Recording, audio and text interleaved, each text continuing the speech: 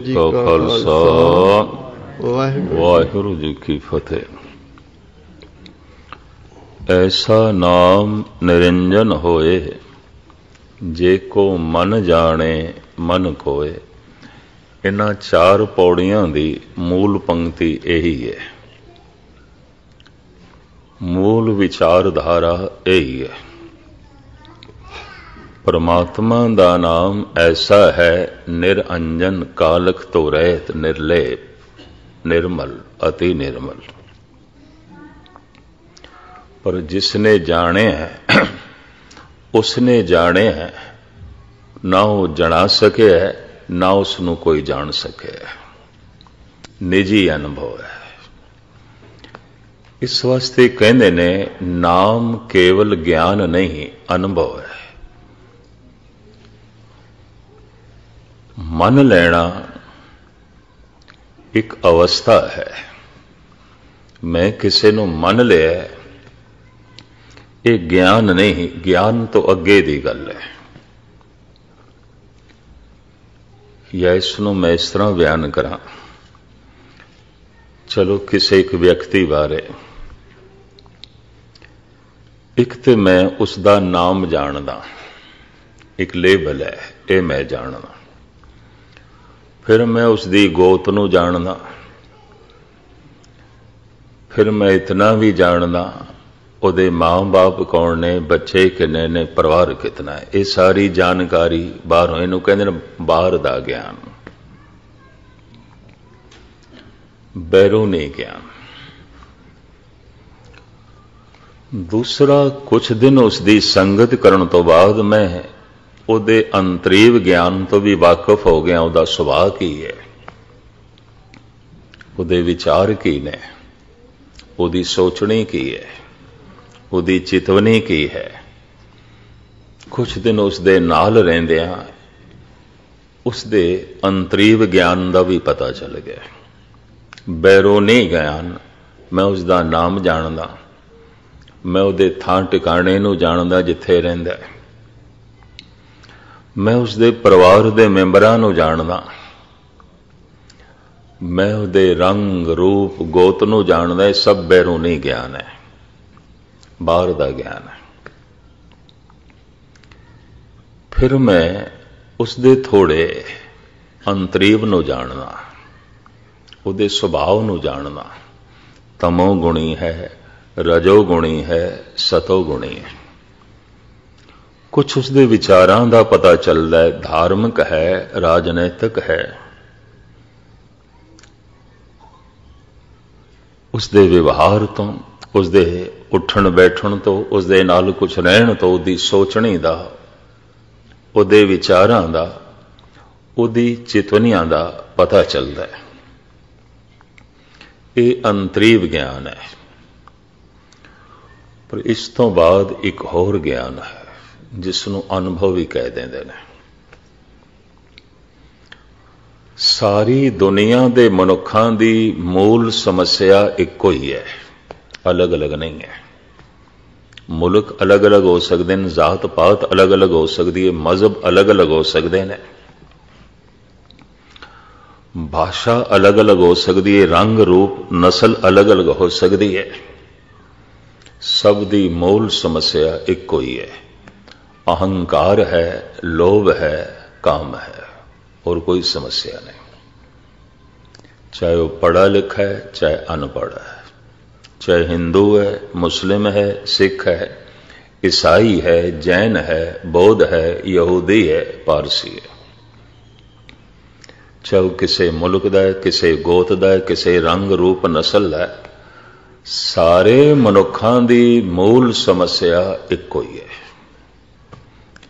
ਇਹ ਅਨੁਭਵੀ ਗਿਆਨ ਹੈ।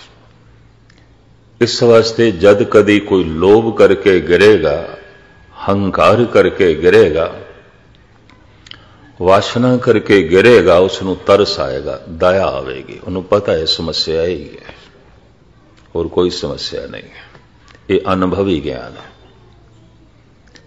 ਇਹ ਸਿਰਫ ਬਾਹਰ ਦਾ ਗਿਆਨ ਨਹੀਂ ਕਿ ਚਲੋ ਮੈਂ ਉਸ ਦੇ ਨਾਮ ਨੂੰ ਜਾਣਦਾ ਉਸ ਦੀ ਗੋਤ ਨੂੰ ਜਾਣਦਾ ਉਸ ਦੇ ਪਰਿਵਾਰ ਨੂੰ ਜਾਣਦਾ।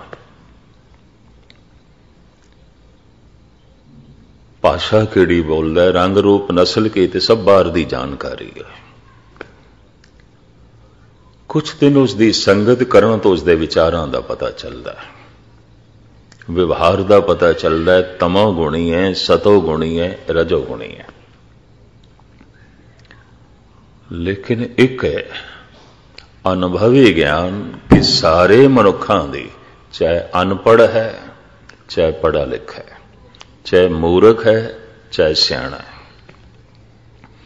ਚਾਹੇ ਬੜੀਆਂ ਬੜੀਆਂ ਡਿਗਰੀਆਂ ਨੇ ਕੋਲ ਬਹੁਤ ਪੜ੍ਹਾ ਲਿਖਾ ਹੈ, ਦਾਰਸ਼ਨਿਕ ਹੈ, ਚਿੰਤਕ ਹੈ ਫਿਲਾਸਫਰ ਹੈ, ਜਾਂ ਬਿਲਕੁਲ ਮੂੜ ਹੈ, ਸਮੱਸਿਆ ਇੱਕੋ ਹੀ ਹੈ ਤੇ ਵੀ ਮਰਸ ਕਰਦੇ ਹਾਂ। ਸਾਰਿਆਂ ਦੀ ਇਹ ਅਨੁਭਵੀ ਗਿਆਨ ਹੈ। ਇਸ ਤਰ੍ਹਾਂ ਮਨੁੱਖ ਲੈਂਦਾ ਨਹੀਂ ਇਸ ਗੱਲ ਨੂੰ। ਜਦ ਕਿਸੇ ਨੂੰ ਗਿਰਦਾ ਹੋਇਆ ਦੇਖਦਾ ਹੈ, ਤੇ ਗਿਰਾਵਟ ਕੀ ਹੈ? ਕਿਧਰੇ ਲੋਭ ਵਸ ਹੋ ਕੇ ਬੇਈਮਾਨ ਹੋ ਗਿਆ ਕਿਧਰੇ ਹੰਕਾਰ ਵਸ ਹੋ ਕੇ ਹਿੰਸਕ ਹੋ ਗਿਆ ਕਿਧਰੇ ਵਾਸ਼ਨਾ ਵਸ ਹੋ ਕੇ ਦੁਰਾਚਾਰੀ ਹੋ ਗਿਆ ਇਹ ਸੀਮਾ ਦਾ ਫ਼ਰਕ ਹੈ ਡਿਗਰੀ ਦਾ ਫ਼ਰਕ ਹੈ ਵਾਸ਼ਨਾ ਦੇ ਚ ਉਹ ਵੀ ਹੈ ਹੰਕਾਰ ਦੇ ਚ ਉਹ ਵੀ ਹੈ ਜਾਂ ਲੋਭ ਦੇ ਚ ਉਹ ਵੀ ਹੈ ਫ਼ਰਕ ਸਿਰਫ ਇਤਨਾ ਹੈ 100 ਡਿਗਰੀ ਤੇ ਗਰਮ ਹੋ ਜਾਏ ਪਾਣੀ ਤੇ ਭਾਪ ਬਣ ਜਾਂਦਾ, ਉਸ ਤੋਂ ਪਹਿਲੇ ਨੇ ਡਿਗਰੀ ਦਾ ਫ਼ਰਕ ਹੋ ਸਕਦਾ 99 ਤੇ ਹੋਵੇਗਾ। ਲੋਭ ਉਸ ਦੇ ਅੰਦਰ ਵੀ ਹੈ। ਉਹ ਜਦ ਕਿਸੇ ਨੂੰ ਗਿਰਿਆ ਹੋਇਆ ਵੇਖਦਾ ਤਾਂ ਉਸ ਨੂੰ ਤਰਸ ਆ ਜਾਂਦਾ ਹੈ। ਇਹ ਅਨੁਭਵੀ ਗਿਆਨ ਹੈ। ਈਸ਼ਵਰੀ ਚਿੰਤਨ ਕਰਦੇ ਆ ਸਮਝ ਪੈਂਦੀ ਹੈ। ਇਸ ਵਾਸਤੇ ਉਸ ਨੂੰ ਤਰਸ ਆਵੇਗਾ। ਅੱਜ ਤੱਕ ਕਿਸੇ ਸੰਤ ਨੇ ਚੋਰ ਨੂੰ ਮਾਰਿਆ ਨਹੀਂ। ਚੋਰ ਤੇ ਉਸ ਨੂੰ ਤਰਸ ਆਇਆ। ਅੱਜ ਤੱਕ ਕਿਸੇ ਸੰਤ ਨੇ ਦੁਰਾਚਾਰੀ ਨਾਲ ਵਿਵਹਾਰ ਗਲਤ ਨਹੀਂ ਕੀਤਾ, ਉਸ ਦੇ ਉੱਤੇ ਉਸ ਨੂੰ ਤਰਸ ਆਇਆ ਪਰ ਜਿਉਂ ਸੰਨੇ ਉੱਪਰ ਚੋਰ, ਸਨ ਲਾਂਦਾ ਕਿਧਰੇ ਚੋਰ ਪਕੜਿਆ ਜਾਏ, ਗੁਸਤਾਖੀ ਮਾਫ ਜਿਹੜੇ ਪੱਕੇ ਚੋਰ ਨੇ ਉਹ ਰੱਜ ਕੇ ਕੁੱਟਣਗੇ ਉਸ ਨੂੰ ਮਾਰਨਗੇ। ਮਾਰਨ ਦਾ ਮੁੱਦਾ ਕੀ ਹੋਵੇਗਾ? ਤੂੰ ਕਮ ਵਕਤ ਚੋਰੀ ਦੇ ਸਫਲ ਹੋ ਗਏ ਅਸੀਂ ਹੋਏ ਨਹੀਂ ਕਸੀ, ਕਦੀ ਹੋਏ ਨਹੀਂ। ਤੂੰ ਕਿਸ ਤਰ੍ਹਾਂ ਸਫਲ ਹੋ ਗਏ ਇਹ ਕਾਰਨ ਹੋਵੇਗਾ। ਉਸ ਦੀ ਜਿਹੜੀ ਨੈਤਿਕਤਾ ਹੈ, ਬਸ ਡਿਗਰੀ ਦਾ ਹੀ ਫ਼ਰਕ ਹੈ ਥੋੜੇ ਜਿਹਾ। 99 ਤੇ ਹੋਵੇਗਾ 98 ਤੇ ਹੋਵੇਗਾ। ਸੰਤ ਨੂੰ ਹਰ ਗਰੇ ਤੇ ਤਰਸ ਆਏਗਾ। ਉਹਨੂੰ ਦਿਸੇਗਾ ਔਗਣ ਮਨੁੱਖ ਦੀ ਕਮਜ਼ੋਰੀ ਹੈ। ਗੁਣ ਪ੍ਰਭੂ ਦੀ ਬਖਸ਼ਿਸ਼ ਹੈ। ਅਕਾਲ ਪੁਰਖ ਦੀ ਰਹਿਮਤ ਹੈ। ਕਿਸੇ ਦੇ ਅੰਦਰ ਗੁਣਾਂ ਨੂੰ ਵੇਖੇਗਾ, ਤਾਂ ਈਸ਼ਵਰ ਦੀ ਉਪਮਾ ਕਰਨ ਲੱਗ ਪਏਗਾ। ਕਿਸੇ ਦੇ ਅੰਦਰ ਔਗੁਣਾਂ ਨੂੰ ਦੇਖੇਗਾ, ਤਰਸ ਆਵੇਗਾ। ਦਇਆ ਹੋਵੇਗੀ ਇਹ ਇੱਕ ਅਨੁਭਵੀ ਗਿਆਨ ਹੈ। ਸੰਸਾਰ ਬਾਰੇ ਮੈਂ ਕਹਿ ਰਿਹਾ, ਮਨੁੱਖਾਂ ਬਾਰੇ ਮੈਂ ਕਹਿ ਰਿਹਾ। ਇੱਕ ਦਫਾ ਮੈਂ ਫਿਰ ਦੁਹਰਾ ਦਿਆਂ ਗੱਲ ਪੂਰੀ ਪਕੜ ਦੇ ਚ ਆ ਜਾਏ। ਇੱਕ ਤੇ ਬਾਹਰ ਦਾ ਗਿਆਨ ਹੈ। ਮੈਂ ਸਿਰਫ ਉਸ ਦਾ ਨਾਮ ਜਾਣਦਾ ਉਸ ਦੇ ਪਰਿਵਾਰ ਨੂੰ ਜਾਣਦਾ, ਮੈਂਬਰ ਕਿੰਨੇ ਨੇ, ਘਰ ਕਿੱਥੇ, ਥਾਂ ਟਿਕਾਣਾ, ਕਿਤਨੇ ਜ਼ਾਤ ਗੋਤ ਕੀ ਬਸ ਇੰਨਾ। ਦੂਸਰਾ ਕੁਝ ਦਿਨ ਮੈਂ ਉਸ ਦੀ ਸੰਗਤ ਕੀਤੀ ਹੈ 10-20 ਦਿਨ ਮਹੀਨਾ। ਉਹਦੇ ਥੋੜੇ ਜਿਹਾ ਸੁਭਾਅ ਦਾ ਪਤਾ ਚੱਲਿਆ ਤਮੋ ਗੁਣੀ ਹੈ ਰਜੋ ਗੁਣੀ ਹੈ ਸਤੋ ਗੁਣੀ ਹੈ ਪਤਾ ਚੱਲ ਜਾਂਦਾ ਹੈ ਵਿਵਹਾਰ ਤੋਂ ਚਾਹੇ ਵਿਵਹਾਰ ਤਮੋ ਗੁਣੀ ਹੈ ਰਜੋ ਗੁਣੀ ਹੈ ਸਤੋ ਗੁਣੀ ਹੈ ਚਾਹੇ ਰੰਗ ਰੂਪ ਨਸਲ ਕੁਛ ਵੀ ਹੈ ਤੇ ਚਾਹੇ ਨਾਮ ਵੀ ਕੁਛ ਹੈ ਸਾਰੇ ਮਨੁੱਖਾਂ ਦੀ ਮੂਲ ਸਮੱਸਿਆ ਇੱਕੋ ਹੈ ਚਾਹੇ ਹਿੰਦੁਸਤਾਨੀ ਹੈ ਤੇ ਚਾਹੇ ਅਮਰੀਕਨ ਹੈ ਚਾਹੇ ਉਹ ਅਰਬੀਅਨ ਹੈ ਤੇ ਚਾਹੇ ਈਰਾਨੀ ਹੈ, ਚਾਹੇ ਚੀਨੀ ਹੈ ਤੇ ਚਾਹੇ ਜਾਪਾਨੀ ਹੈ। ਸਾਰੇ ਮਨੁੱਖਾਂ ਦੀ ਮੂਲ ਸਮੱਸਿਆ ਇੱਕੋ ਹੀ ਹੈ। ਔਰ ਐਸਾ ਕੋਈ ਦੇਸ਼ ਨਹੀਂ ਜਿੱਥੇ ਹਿੰਸਾ ਨਾ ਹੋਵੇ, ਬੇਈਮਾਨੀ ਨਾ ਹੋਵੇ, ਦੁਰਾਚਾਰ ਨਾ ਹੋਵੇ, ਤੁਸੀਂ ਕਿਸੇ ਇੱਕ ਦੇਸ਼ ਦਾ ਵੀ ਨਾਂ ਲਓ। ਨਹੀਂ ਹੈ। ਸਭ ਜਗ੍ਹਾ ਮੌਜੂਦ ਹੈ। ਇਹ ਮਨੁੱਖ ਦੀ ਮੂਲ ਸਮੱਸਿਆ ਹੈ। ਫੌਜ ਨਾਲ, ਪੁਲਿਸ ਨਾਲ, ਅਦਾਲਤਾਂ ਨਾਲ ਇਹ ਮਸਲੇ ਨਹੀਂ ਹੱਲ ਹੁੰਦੇ, ਨਾ ਅਜ ਤੱਕ ਹੱਲ ਹੋਏ ਨੇ।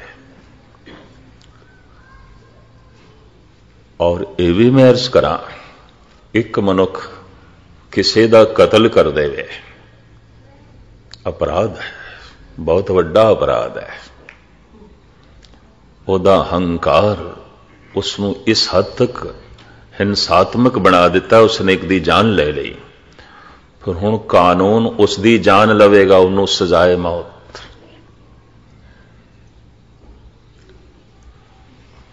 ਮੈਂ ਭਾਰਤ ਵਿੱਚ ਇਹ ਦੋ ਸ਼ਬਦ ਕਹੇ ਸਨ।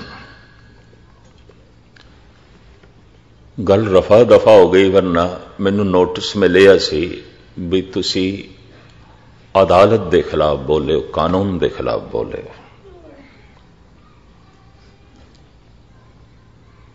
ਇਹ ਅਦਾਲਤ ਦੀ ਤੋਹੀਨ ਦਾ ਮਸਲਾ ਖੜਾ ਹੋ ਸਕਦਾ ਹੈ। ਮੈਂ ਕਿ ਇੱਕ ਮਨੁੱਖ ਨੇ ਕਤਲ ਕੀਤਾ ਹੈ, ਜੁਰਮ ਹੈ।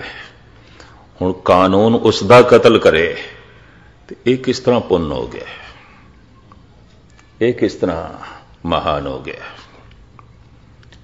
ਇਸ ਦਾ ਮਤਲਬ ਹੈ, ਉਹਨੇ ਕਾਨੂੰਨ ਦੇ ਦਾਇਰੇ 'ਚ ਕਿਸੇ ਨੂੰ ਨਹੀਂ ਮਾਰਿਆ ਤੇ ਤੁਸੀਂ ਕਾਨੂੰਨ ਦੇ ਦਾਇਰੇ 'ਚ ਕਿਸੇ ਨੂੰ ਫਾਂਸੀ ਤੇ ਚਾੜੋਗੇ। ਸਿਆਣੇ ਸਿਆਣੇ ਦੇਸ਼ਾਂ ਦੇ ਸਜ਼ਾਏ ਮੌਤ ਹਟ ਗਈ ਹੈ, ਇਹ ਵੀ ਮੈਂ ਅਰਜ਼ ਕਰਾਂ, ਜਿਨ੍ਹਾਂ ਨੇ ਗਹਿਰਾਈ ਦੇ ਚ ਲਿਆ ਇਸ ਗੱਲ ਨੂੰ। ਹਿੰਸਕ ਸਾਰੇ ਹੀ ਆਉਂਦੇ ਨੇ, ਹੰਕਾਰ ਤੇ ਸਾਰਿਆਂ ਦੇ ਅੰਦਰ ਹੈ, ਡਿਗਰੀ ਦਾ ਫ਼ਰਕ ਹੈ। ਸਾਰਿਆਂ ਦੀ ਮੂਲ ਸਮੱਸਿਆ ਹੰਕਾਰ ਹੈ, ਲੋਭ ਹੈ। ਵਾਸ਼ਨਾ ਕੋਈ ਕਬੂਲ ਕਰੇ, ਭਾਵੇਂ ਨਾ ਕਰੇ। ਕਿਧਰੇ ਉਸ ਨੂੰ ਲੋਭ ਬੇਈਮਾਨ ਬਣਾ ਦੇਗਾ, ਕਿਧਰੇ ਉਸ ਨੂੰ ਅਹੰਕਾਰ ਹਿੰਸਕ ਬਣਾ ਦੇਗਾ, ਕਿਧਰੇ ਉਸ ਨੂੰ ਵਾਸ਼ਨਾ ਦੁਰਾਚਾਰੀ ਬਣਾ ਦੇਗੀ। ਚਲੋ, ਅਪਰਾਧੀ ਨਾ ਬਣਨ ਦੇਵੇ, ਪਾਪੀ ਤੇ ਬਣਨ ਦੇ ਦੇਗੀ। ਉਹਦੇ ਵਿਚਾਰਾਂ ਹੀ ਤੇ ਸਭ ਕੁਝ ਆ ਜਾਏਗਾ, ਸੋਚਣੀ ਤੇ ਆ ਜਾਏਗਾ। ਹਿੰਸਾ ਉਸ ਦੀ ਸੋਚਣੀ ਚ ਆ ਜਾਏਗੀ, ਦੁਰਾਚਾਰ ਉਸ ਦੇ ਵਿਚਾਰਾਂ ਚ ਆ ਜਾਏਗਾ। ਬੇਈਮਾਨੀ ਉਹਦੀ ਸਿਮਰਤੀ ਬਣ ਜਾਏਗੀ। ਇਹਨੂੰ ਧੋਖਾ ਦੇ ਦਿਆਂ, ਉਹਨੂੰ ਧੋਖਾ ਦੇ ਦਿਆਂ, ਉਹਨੂੰ ਧੋਖਾ ਦੇ ਦਿਆਂ। ਸਾਰੇ ਜਗਤ ਦੀ ਮੂਲ ਸਮੱਸਿਆ ਇਹ ਹੀ ਹੈ। ਇਹ ਤੇ ਚੰਗਾ ਹੋਇਆ ਉੱਥੇ ਇੱਕ ਦਾਰਸ਼ਨਿਕ ਵਕੀਲ ਸੀ, ਬੜਾ ਸਿਆਣਾ ਔਰ ਗੁਰੂ ਘਰ ਦਾ, ਉਹ ਸ਼ਰਧਾਲੂ ਭਾਵੇਂ ਸਹੀਦਾਰੀ ਸੀ। ਉਹਨੇ ਮੈਨੂੰ ਕਿਹਾ, ਮਸਕਿਨ ਜੀ, ਤੁਸੀਂ ਫਿਕਰ ਨਾ ਕਰੋ ਮਾਮੂਲੀ ਗੱਲ ਹੈ। ਮੈਂ ਨਿਪਟਾ ਲਿਆਂਗਾ ਆਪੇ। ਮੈਂ ਇਤਨਾ ਹੀ ਆਖਿਆ ਸੀ, ਇੱਕ ਮਨੁੱਖ ਕਤਲ ਕਰਦਾ ਹੈ, ਕਾਤਲ ਹੈ, ਕਿਉਂਕਿ ਉਸਨੇ ਕਾਨੂੰਨ ਦੇ ਦਾਇਰੇ 'ਚ ਕਿਸੇ ਨੂੰ ਨਹੀਂ ਮਾਰਿਆ। ਤੇ ਫਿਰ ਕਾਨੂੰਨ ਉਸ ਦੀ ਹੱਤਿਆ ਕਰਦਾ ਹੈ, ਉਹਨੂੰ ਫਾਂਸੀ ਤੇ ਚਾੜਦਾ ਉਹਨੂੰ ਮਾਰਦਾ ਕਾਨੂੰਨ ਦੇ ਦਾਇਰੇ 'ਚ। ਤੇ ਕਾਨੂੰਨ ਦੇ ਦਾਇਰੇ 'ਚ ਮਾਰਿਆ ਹੋਇਆ ਕਤਲ ਕੀਤਾ ਹੋਇਆ, ਇਨਸਾਫ ਹੋ ਗਿਆ ਤੇ ਕਾਨੂੰਨ ਦੇ ਦਾਇਰੇ ਜਿਸ ਨੂੰ ਨਹੀਂ ਮਾਰਿਆ, ਉਹ ਗੁਨਾਹ ਹੋ ਗਿਆ। ਇਹ ਕਿਸ ਤਰ੍ਹਾਂ ਦਾ ਸੋਚਣ ਦਾ ਢੰਗ ਹੈ? ਗੁਨਾਹ ਆਖਰ ਗੁਨਾਹ ਹੈ, ਕਤਲ ਆਖਰ ਕਤਲ ਹੈ। ਚਾਹੇ ਕਿਸੇ ਢੰਗ ਨਾਲ ਕੀਤਾ ਜਾਏ, ਚਾਹੇ ਲੋਹੇ ਦੇ ਛੁਰੇ ਨਾਲ ਕਤਲ ਕੀਤਾ ਜਾਂ ਸੋਨੇ ਦੇ ਛੁਰੇ ਨਾਲ ਕਤਲ ਕੀਤਾ। ਹੱਥਕੜੀ ਆਖਰ ਹੱਥਕੜੀ ਹੈ ਚਾਹੇ ਲੋਹੇ ਦੀ ਹੈ ਤੇ ਚਾਹੇ ਸੋਨੇ ਦੀ ਹੈ ਭਾਵੇਂ ਕਿਸੇ ਨੂੰ ਸੋਨੇ ਦੀ ਜ਼ੰਜੀਰਾਂ ਨਾਲ ਬੰਨ ਕੇ ਰੱਖ ਦੋ, ਭਾਵੇਂ ਕਿਸੇ ਨੂੰ ਪਿੱਤਲ ਦੀਆਂ ਤੇ ਭਾਵੇਂ ਕਿਸੇ ਨੂੰ ਲੋਹੇ ਦੀ ਬੰਨ ਕੇ ਤੇ ਰੱਖ ਦਿੱਤਾ ਹੈ। ਅਗਲਾ ਬਨੀਜ ਤੇ ਗਿਆ। ਤੇ ਕੋਈ ਮਾਣ ਨਾਲ ਆਖੇ, ਨਹੀਂ ਜੀ, ਅਸੀਂ ਸੋਨੇ ਦੀ ਜ਼ੰਜੀਰਾਂ ਨਾਲ ਬਣਿਆ ਸੋਨੇ ਦੇ ਪਿੰਜਰੇ 'ਚ ਬੰਦ ਕੀਤਾ ਬੰਦ ਕੀਤਾ ਹੈ ਨਾ। ਮੈਨੂੰ ਇਸ ਸੰਬੰਧ ਵਿੱਚ ਇੱਕ ਗਾਥਾ ਯਾਦ ਆਈ ਪੁਰਾਣੀ, ਮਨਸੂਰ ਨੂੰ ਜਦ ਸੂਲੀ ਤੇ ਚਾੜਨ ਲੱਗੇ। ਤੇ ਸੂਲੀ ਤੋਂ ਪਹਿਲੇ ਸਾਰਿਆਂ ਨੇ ਉਸ ਨੂੰ ਪੱਥਰ ਵੀ ਮਾਰਨਾ ਸੀ। ਇਹ ਵੀ ਸਜ਼ਾ ਸੀ। ਔਰ ਕਸੂਰ ਉਸ ਦਾ ਇਹ ਹੀ ਸੀ ਕਿ ਵਿਚਾਰਾ ਬੇਕਸੂਰ ਸੀ। ਬਸ ਇੰਨੀ ਗੱਲ ਹੈ। ਕਸੂਰਵਾਰਾਂ ਦੀ ਮਹਿਫਿਲ ਦੇ ਵਿੱਚ ਬਿਲਕੁਲ ਬੇਕਸੂਰ ਹੋ ਕੇ ਜੀਵਣਾ ਵੀ ਕਸੂਰ ਹੋ ਜਾਂਦਾ ਹੈ। ਇਹ ਵੀ ਮਰਜ਼ ਕਰਦੇ ਹਾਂ। ਪਾਪੀਆਂ ਦੇ ਇਕੱਠ ਦੇ ਵਿੱਚ ਪੁਨੀਤ ਹੋ ਕੇ ਜੀਵਣਾ ਵੀ ਇੱਕ ਪਾਪ ਹੋ ਜਾਂਦਾ ਹੈ। ਮੂਰਖਾਂ ਦੀ ਮਹਿਫਿਲ ਦੇ ਵਿੱਚ ਬਹੁਤ ਸਿਆਣਾ ਹੋ ਜਾਣਾ ਵੀ ਇੱਕ ਮੂਰਖਤਾ ਹੋ ਜਾਂਦੀ ਹੈ। ਬਸ ਉਸ ਦਾ ਇਹੀ ਕਸੂਰ ਸੀ, ਵਿਚਾਰਾ ਬੇਕਸੂਰ ਸੀ। ਬਾਦਸ਼ਾਹ ਦਾ ਹੁਕਮ ਸੂਲੀ ਤੇ ਬਾਅਦ ਚਾੜਾਂਗੇ, ਪਹਿਲੇ ਇਸ ਨੂੰ ਇੱਕ ਇੱਕ ਪੱਥਰ ਮਾਰੋ। ਇਸ ਇਕੱਠ ਦੇ ਸ਼ਿਵਲੀ ਵੀ ਸੀ, ਮਨਸੂਰ ਦਾ ਦੋਸਤ। ਜੈਸੇ ਮਨਸੂਰ ਸੂਫੀ ਸੀ, ਉਹ ਵੀ ਸੂਫੀ ਸੀ। ਮਨਸੂਰ ਨੇ ਖੁਦਾ ਨੂੰ ਸਮਝਿਆ ਸੀ, ਉਸ ਦਾ ਅਨੁਭਵ ਸੀ, ਖੁਦਾ ਉਸ ਦੀ ਜ਼ਿੰਦਗੀ ਸੀ, ਉਹਨੂੰ ਪ੍ਰਾਪਤ ਕਰ ਲਿਆ ਸੀ। ਸ਼ਿਬਲੀ ਦੀ ਸਮਝ ਦੇ ਤੇ ਆਈ ਅਨੁਭਵ ਤੇ ਸੀ ਉਸ ਦਾ ਲੇਕਿਨ ਅਜੇ ਉਸ ਪੱਧਰ ਤੇ ਨਹੀਂ ਸੀ, ਉਹ ਪ੍ਰਾਪਤੀ ਨਹੀਂ ਸੀ ਜੋ ਮਨਸੂਰ ਕੋਲ ਸੀ। ਲੇਕਿਨ ਇਤਨਾ ਜ਼ਰੂਰ ਪਤਾ ਸੀ, ਮਨਸੂਰ ਬੇਕਸੂਰ ਹੈ। ਪਰ ਉਹਨੇ ਦੇਖਿਆ ਹੁਣ ਸਾਰਿਆਂ ਨੇ ਪੱਥਰ ਚੁੱਕ ਲਏ ਨੇ ਮਾਰਨ ਵਾਸਤੇ। ਤੇ ਮੈਂ ਨਾ ਚੁੱਕਿਆ ਤੇ ਮੈਂ ਨਾ ਮਾਰਿਆ ਤੇ ਮੈਨੂੰ ਸਾਥੀ ਸਮਝ ਕੇ ਕਿਧਰੇ ਮੈਨੂੰ ਹੀ ਸੂਲੀ ਤੇ ਨਾ ਚਾੜਨ। ਹੁਕਮ ਹੋਇਆ, ਮਾਰੋ। ਸਾਰਿਆਂ ਨੇ ਪੱਥਰ ਮਾਰੇ। ਸ਼ਿਬਲੀ ਕੋਲ ਇੱਕ ਫੁੱਲ ਸੀ ਗੁਲਾਬ ਦਾ। ਉਹਨੇ ਵੀ ਖਿੱਚ ਕੇ ਮਾਰਿਆ, ਇੰਜ ਮੁੱਠ ਬੰਦ ਕਰਕੇ। ਸਿਰਫ ਇਹ ਸਮਝਾਉਣ ਵਾਸਤੇ ਕਿ ਲੋਕਾਂ ਨੂੰ ਪਤਾ ਚਲੇ, ਮੈਂ ਵੀ ਮਾਰਿਆ। ਪੱਥਰ ਲਗੇ, ਹੱਸਦਾ ਰਿਹਾ ਮਨਸੂਰ। ਹੱਸਦਾ ਰਿਹਾ। ਪਰ ਗਜ਼ਬ ਦੀ ਗੱਲ ਅੱਧੇ ਪੱਥਰ ਉਸ ਨੂੰ ਨਹੀਂ ਵੀ ਲੱਗੇ ਸਨ, ਨਿਸ਼ਾਨੇ ਤੇ ਨਹੀਂ ਲੱਗੇ ਸਨ। ਅੱਧੇ ਜਿਹੜੇ ਲੱਗੇ ਹੱਸਦਾ ਰਿਹਾ। ਪਰ ਰੱਬ ਦੀ ਨੇਤ ਸਮਝੋ, ਉਹ ਜੋ ਗੁਲਾਬ ਖਿੱਚ ਕੇ ਮਾਰਿਆ, ਉਹ ਇੱਥੇ ਮੱਥੇ ਤੇ ਲੱਗੇ ਫੁੱਲ। ਚੀਖ ਨਿਕਲ ਗਈ ਮਨਸੂਰ ਦੀ, ਬੜੀ ਉੱਚੀ। ਸ਼ਿਬਲੀ ਕੋਲ ਪਹੁੰਚਿਆ, ਅੱਖਾਂ ਭਰੀਆਂ ਨੇ, ਮਿੱਤਰਾ। ਪੱਥਰ ਤੇਰੇ ਜਿਸਮ ਨੂੰ ਲੱਗਦੇ ਰਹੇ, ਤੂੰ ਲਹੂ ਲੁਹਾਨ ਹੁੰਦਾ ਰਿਹਾ ਤੇ ਹੱਸਦਾ ਰਿਹਾ। ਮੈਂ ਤੇ ਫੁੱਲ ਮਾਰਿਆ ਔਰ ਫੁੱਲ ਵੀ ਗੁਲਾਬ ਦਾ ਤੇਰੀ ਚੀਖ ਨਿਕਲ ਗਈ। ਮਨਸੂਰ ਕਹਿੰਦਾ, ਤੂੰ ਫੁੱਲ ਭੇਟ ਨਹੀਂ ਕੀਤਾ, ਮਾਰਿਆ ਮਾਰਿਆ ਸਵਾਲ ਇਹ ਨਹੀਂ ਕਿ ਹੁਣ ਪੱਥਰ ਨਾਲ ਮਾਰਨਾ ਹੈ ਕਿ ਫੁੱਲ ਨਾਲ ਮਾਰਨਾ ਹੈ ਮਾਰੇ ਮਾਰਨ ਨਾਲ ਚੋਟ ਲੱਗੀ ਪਰ ਪੱਥਰ ਖਾ ਕੇ ਤੇ ਤੂੰ ਹੱਸਦਾ ਰਿਹਾ ਹਾਂ। ਪੱਥਰ ਮਾਰੇ ਮੂਰਖਾਂ ਨੇ ਜੋ ਮੈਨੂੰ ਨਹੀਂ ਜਾਣਦੇ ਫੁੱਲ ਮਾਰਿਆ ਉਸਨੇ, ਸਿਆਣੇ ਨੇ ਜੋ ਮੈਨੂੰ ਜਾਣਦਾ ਇਸ ਕਰਕੇ ਚੀਖ ਨਿਕਲ ਗਈ ਹੈ ਮੇਰੀ ਅਵਸਥਾ ਨੂੰ ਜਾਣਦਾ ਹੈ ਮੈਨੂੰ ਜਾਣਦਾ ਹੈ। ਮੇਰੀ ਤਰ੍ਹਾਂ ਅਨੁਭਵੀ ਪੁਰਸ਼ ਹੈ। ਇਹ ਵੀ ਪਹਿ ਦੇ ਚ ਆ ਗਿਆ। ਤੂੰ ਮਾਰਿਆ ਫੁੱਲ। ਜਿਨ੍ਹਾਂ ਨੇ ਮੈਨੂੰ ਪੱਥਰ ਮਾਰੇ, ਮੇਰਾ ਤਨ ਜ਼ਖਮੀ ਕੀਤਾ ਹੈ। ਪਰ ਕੀ ਕਰਾਂ, ਤੇਰਾ ਮਾਰਿਆ ਹੋਇਆ ਫੁੱਲ ਤੇ ਮੇਰੇ ਮਨ ਤੋਂ ਵੀ ਪਾਰ ਹੋ ਗਿਆ, ਬਹੁਤ ਗਹਿਰਾ ਗਿਆ ਸਮਝਦਾਰ ਨੇ ਮਾਰਿਆ ਇੱਕ ਫਕੀਰ ਨੇ ਮਾਰਿਆ ਇੱਕ ਸੰਤ ਨੇ ਮਾਰਿਆ ਜਦ ਕਿ ਸੰਤ ਦਾ ਇਹ ਕਰਮ ਨਹੀਂ ਆਉਂਦਾ। ਸੰਤ ਦੀ ਇਹ ਸੋਚਣੀ ਨਹੀਂ ਆਉਂਦੀ। ਸਵਾਲ ਇਹ ਨਹੀਂ ਕਿ ਤੂੰ ਫੁੱਲ ਮਾਰਿਆ ਸਵਾਲ ਇਹ ਹੈ ਕਿ ਮਾਰਿਆ ਤੂੰ ਭੇਟ ਨਹੀਂ ਕੀਤਾ। ਮਾਰਿਆ ਪੈਰੀ ਪੈ ਗਿਆ ਸ਼ਿਵਲੀ। ਹਾਂ, ਮੈਂ ਮਾਰਿਆ ਮਨਸੂਰ ਕਹਿੰਦੇ ਨੇ, ਹੁਣ ਤੇਰੇ ਤੇ ਮੈਨੂੰ ਤਰਸ ਆਇਆ ਹੈ। ਤੇ ਜਿਸ ਤੇ ਤਰਸ ਆਵੇ, ਪਛੜੇ ਹੋਇਆ ਹੈ। ਤੈਨੂੰ ਦੇਖ ਕੇ ਮੈਨੂੰ ਤਰਸ ਆਇਆ ਤੂੰ ਗਿਰਿਆ ਬਾਕੀ ਭੀੜ ਦੇ ਵਿੱਚ ਤੂੰ ਵੀ ਗਿਰਿਆ ਤੂੰ ਵੀ ਥੱਲੇ ਚਲਾ ਗਿਆ ਮੁਖਤਸਰ ਮੈਂ ਅਰਜ਼ ਕਰਾਂ, ਅਨੁਭਵੀ ਗਿਆਨ ਦੂਸਰੇ ਦੀ ਅਤਿਅੰਤ ਗਿਰਾਵਟ ਨੂੰ ਵੇਖ ਕੇ ਵੀ ਉਸ ਨੂੰ ਤਰਸ ਆਵੇਗਾ, ਕਿਉਂਕਿ ਉਸ ਨੂੰ ਸਮਝ ਹੈ ਸਾਰਿਆਂ ਦੀ ਮੂਲ ਸਮੱਸਿਆ ਇੱਕੋ ਹੀ ਹੈ। ਜਦ ਕਦੀ ਕੋਈ ਗਿਰੇਗਾ, ਅਹੰਕਾਰ ਕਰਕੇ ਗਿਰੇਗਾ, ਲੋਭ ਕਰਕੇ ਗਿਰੇਗਾ, ਵਾਸ਼ਨਾ ਕਰਕੇ ਗਿਰੇਗਾ ਔਰ ਕਿਉਂ ਗਿਰੇਗਾ? ਇਹੀ ਗਿਰਾਵਟ ਹੈ। ਸਾਰੇ ਸੰਸਾਰ ਦੀ ਮੂਲ ਸਮੱਸਿਆ ਇਹੀ ਹੈ। ਚਾਹੇ ਉਹ ਕਿਸੇ ਮੁਲਕ ਦਾ ਕਿਸੇ ਜ਼ਾਤ ਦਾ ਕਿਸੇ ਮਜ਼ਹਬ ਦਾ ਹੈ। ਐਸੇ ਮਨੁੱਖ ਨੂੰ ਕਹਿੰਦੇ ਨੇ, ਇਹ ਅਨੁਭਵ ਪ੍ਰਕਾਸ਼ ਦੇ ਚ ਜੀਵਦਾ ਹੈ। ਉਸ ਨੂੰ ਪੜਾ ਲਿਖਾ ਮਿਲੇਗਾ ਅਨਪੜ ਮਿਲੇਗਾ, ਮੂਰਖ ਮਿਲੇਗਾ, ਸਿਆਣਾ ਮਿਲੇਗਾ, ਹਿੰਦੂ ਮਿਲੇਗਾ, ਮੁਸਲਮ ਮਿਲੇਗਾ ਉਸ ਨੂੰ ਸਮਝ ਹੈ, ਮੂਲ ਸਮੱਸਿਆ ਹੀ ਹੈ। ਇਹ ਬੇਈਮਾਨ ਨਹੀਂ ਹੋਇਆ, ਸੀਮਾ ਦੇ ਚ ਨੈਤਿਕ ਹੈ। ਕਿਉਂਕਿ ਅਨੈਤਿਕ ਹੋਣ ਨਾਲ ਸਮਾਜ ਕਬੂਲ ਨਹੀਂ ਕਰਦਾ। ਅਨੈਤਿਕ ਹੋਣ ਨਾਲ ਕਾਨੂੰਨ ਸਜ਼ਾ ਦਿੰਦਾ ਹੈ। ਤੋ ਨੈਤਿਕ ਹੋ ਕੇ ਜੀ ਰਿਹਾ ਹੈ। ਉਹ ਇਹਨਾਂ ਆਪਣੀਆਂ ਬਿਰਤੀਆਂ ਨੂੰ ਸੀਮਾ ਦੇ ਚ ਰੱਖ ਰਿਹਾ ਹੈ। ਇਸ ਵਾਸਤੇ ਨੈਤਿਕ ਮਨੁੱਖ ਇੱਕ ਸੰਤ ਦੀ ਦ੍ਰਿਸ਼ਟੀ ਦੇ ਚ ਉਹ ਨੇ ਜੋ ਮਨ ਦੇ ਤਲ ਤੇ ਤੇ ਅਪਰਾਧੀ ਨੇ, ਪਾਪੀ ਨੇ, ਅਜੇ ਤਨ ਦੇ ਤਲ ਤੇ ਪ੍ਰਗਟ ਨਹੀਂ ਹੋਇਆ, ਉਹਨਾਂ ਦੇ ਉੱਤੇ ਤਰਸ ਆਉਂਦਾ ਹੈ। ਅਪਰਾਧ ਤਨ ਦੇ ਤਲ ਤੇ ਪ੍ਰਗਟ ਨਹੀਂ ਹੋਇਆ। ਸੀਮਾ ਦੇ ਚ ਰੱਖਿਆ ਹੋਇਆ ਹੰਕਾਰ ਨੂੰ। ਸੀਮਾ ਦੇ ਚ ਰੱਖਿਆ ਹੋਇਆ ਲੋਭ ਨੂੰ ਇਹ ਬੇਈਮਾਨੀ ਤੱਕ ਨਾ ਪਹੁੰਚੇ, ਕਿਸੇ ਨੂੰ ਚੋਟ ਨਾ ਪਹੁੰਚਾਵੇ। ਲੇਕਿਨ ਅੰਦਰ ਤੇ ਹੈ।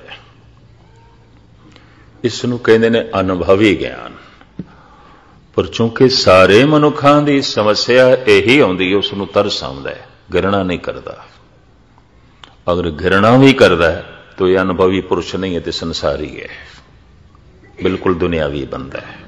ਅਗਰ ਇਹ ਘਿਰਣਾ ਕਰਦਾ ਹੈ, ਨਫ਼ਰਤ ਕਰਦਾ ਹੈ, ਇੱਕ ਤੇ ਮੈਨੂੰ ਇਹ ਪਤਾ ਹੈ ਇਹ ਭੋਜਨ ਕਿਸ ਨੇ ਬਣਾਇਆ ਹੈ?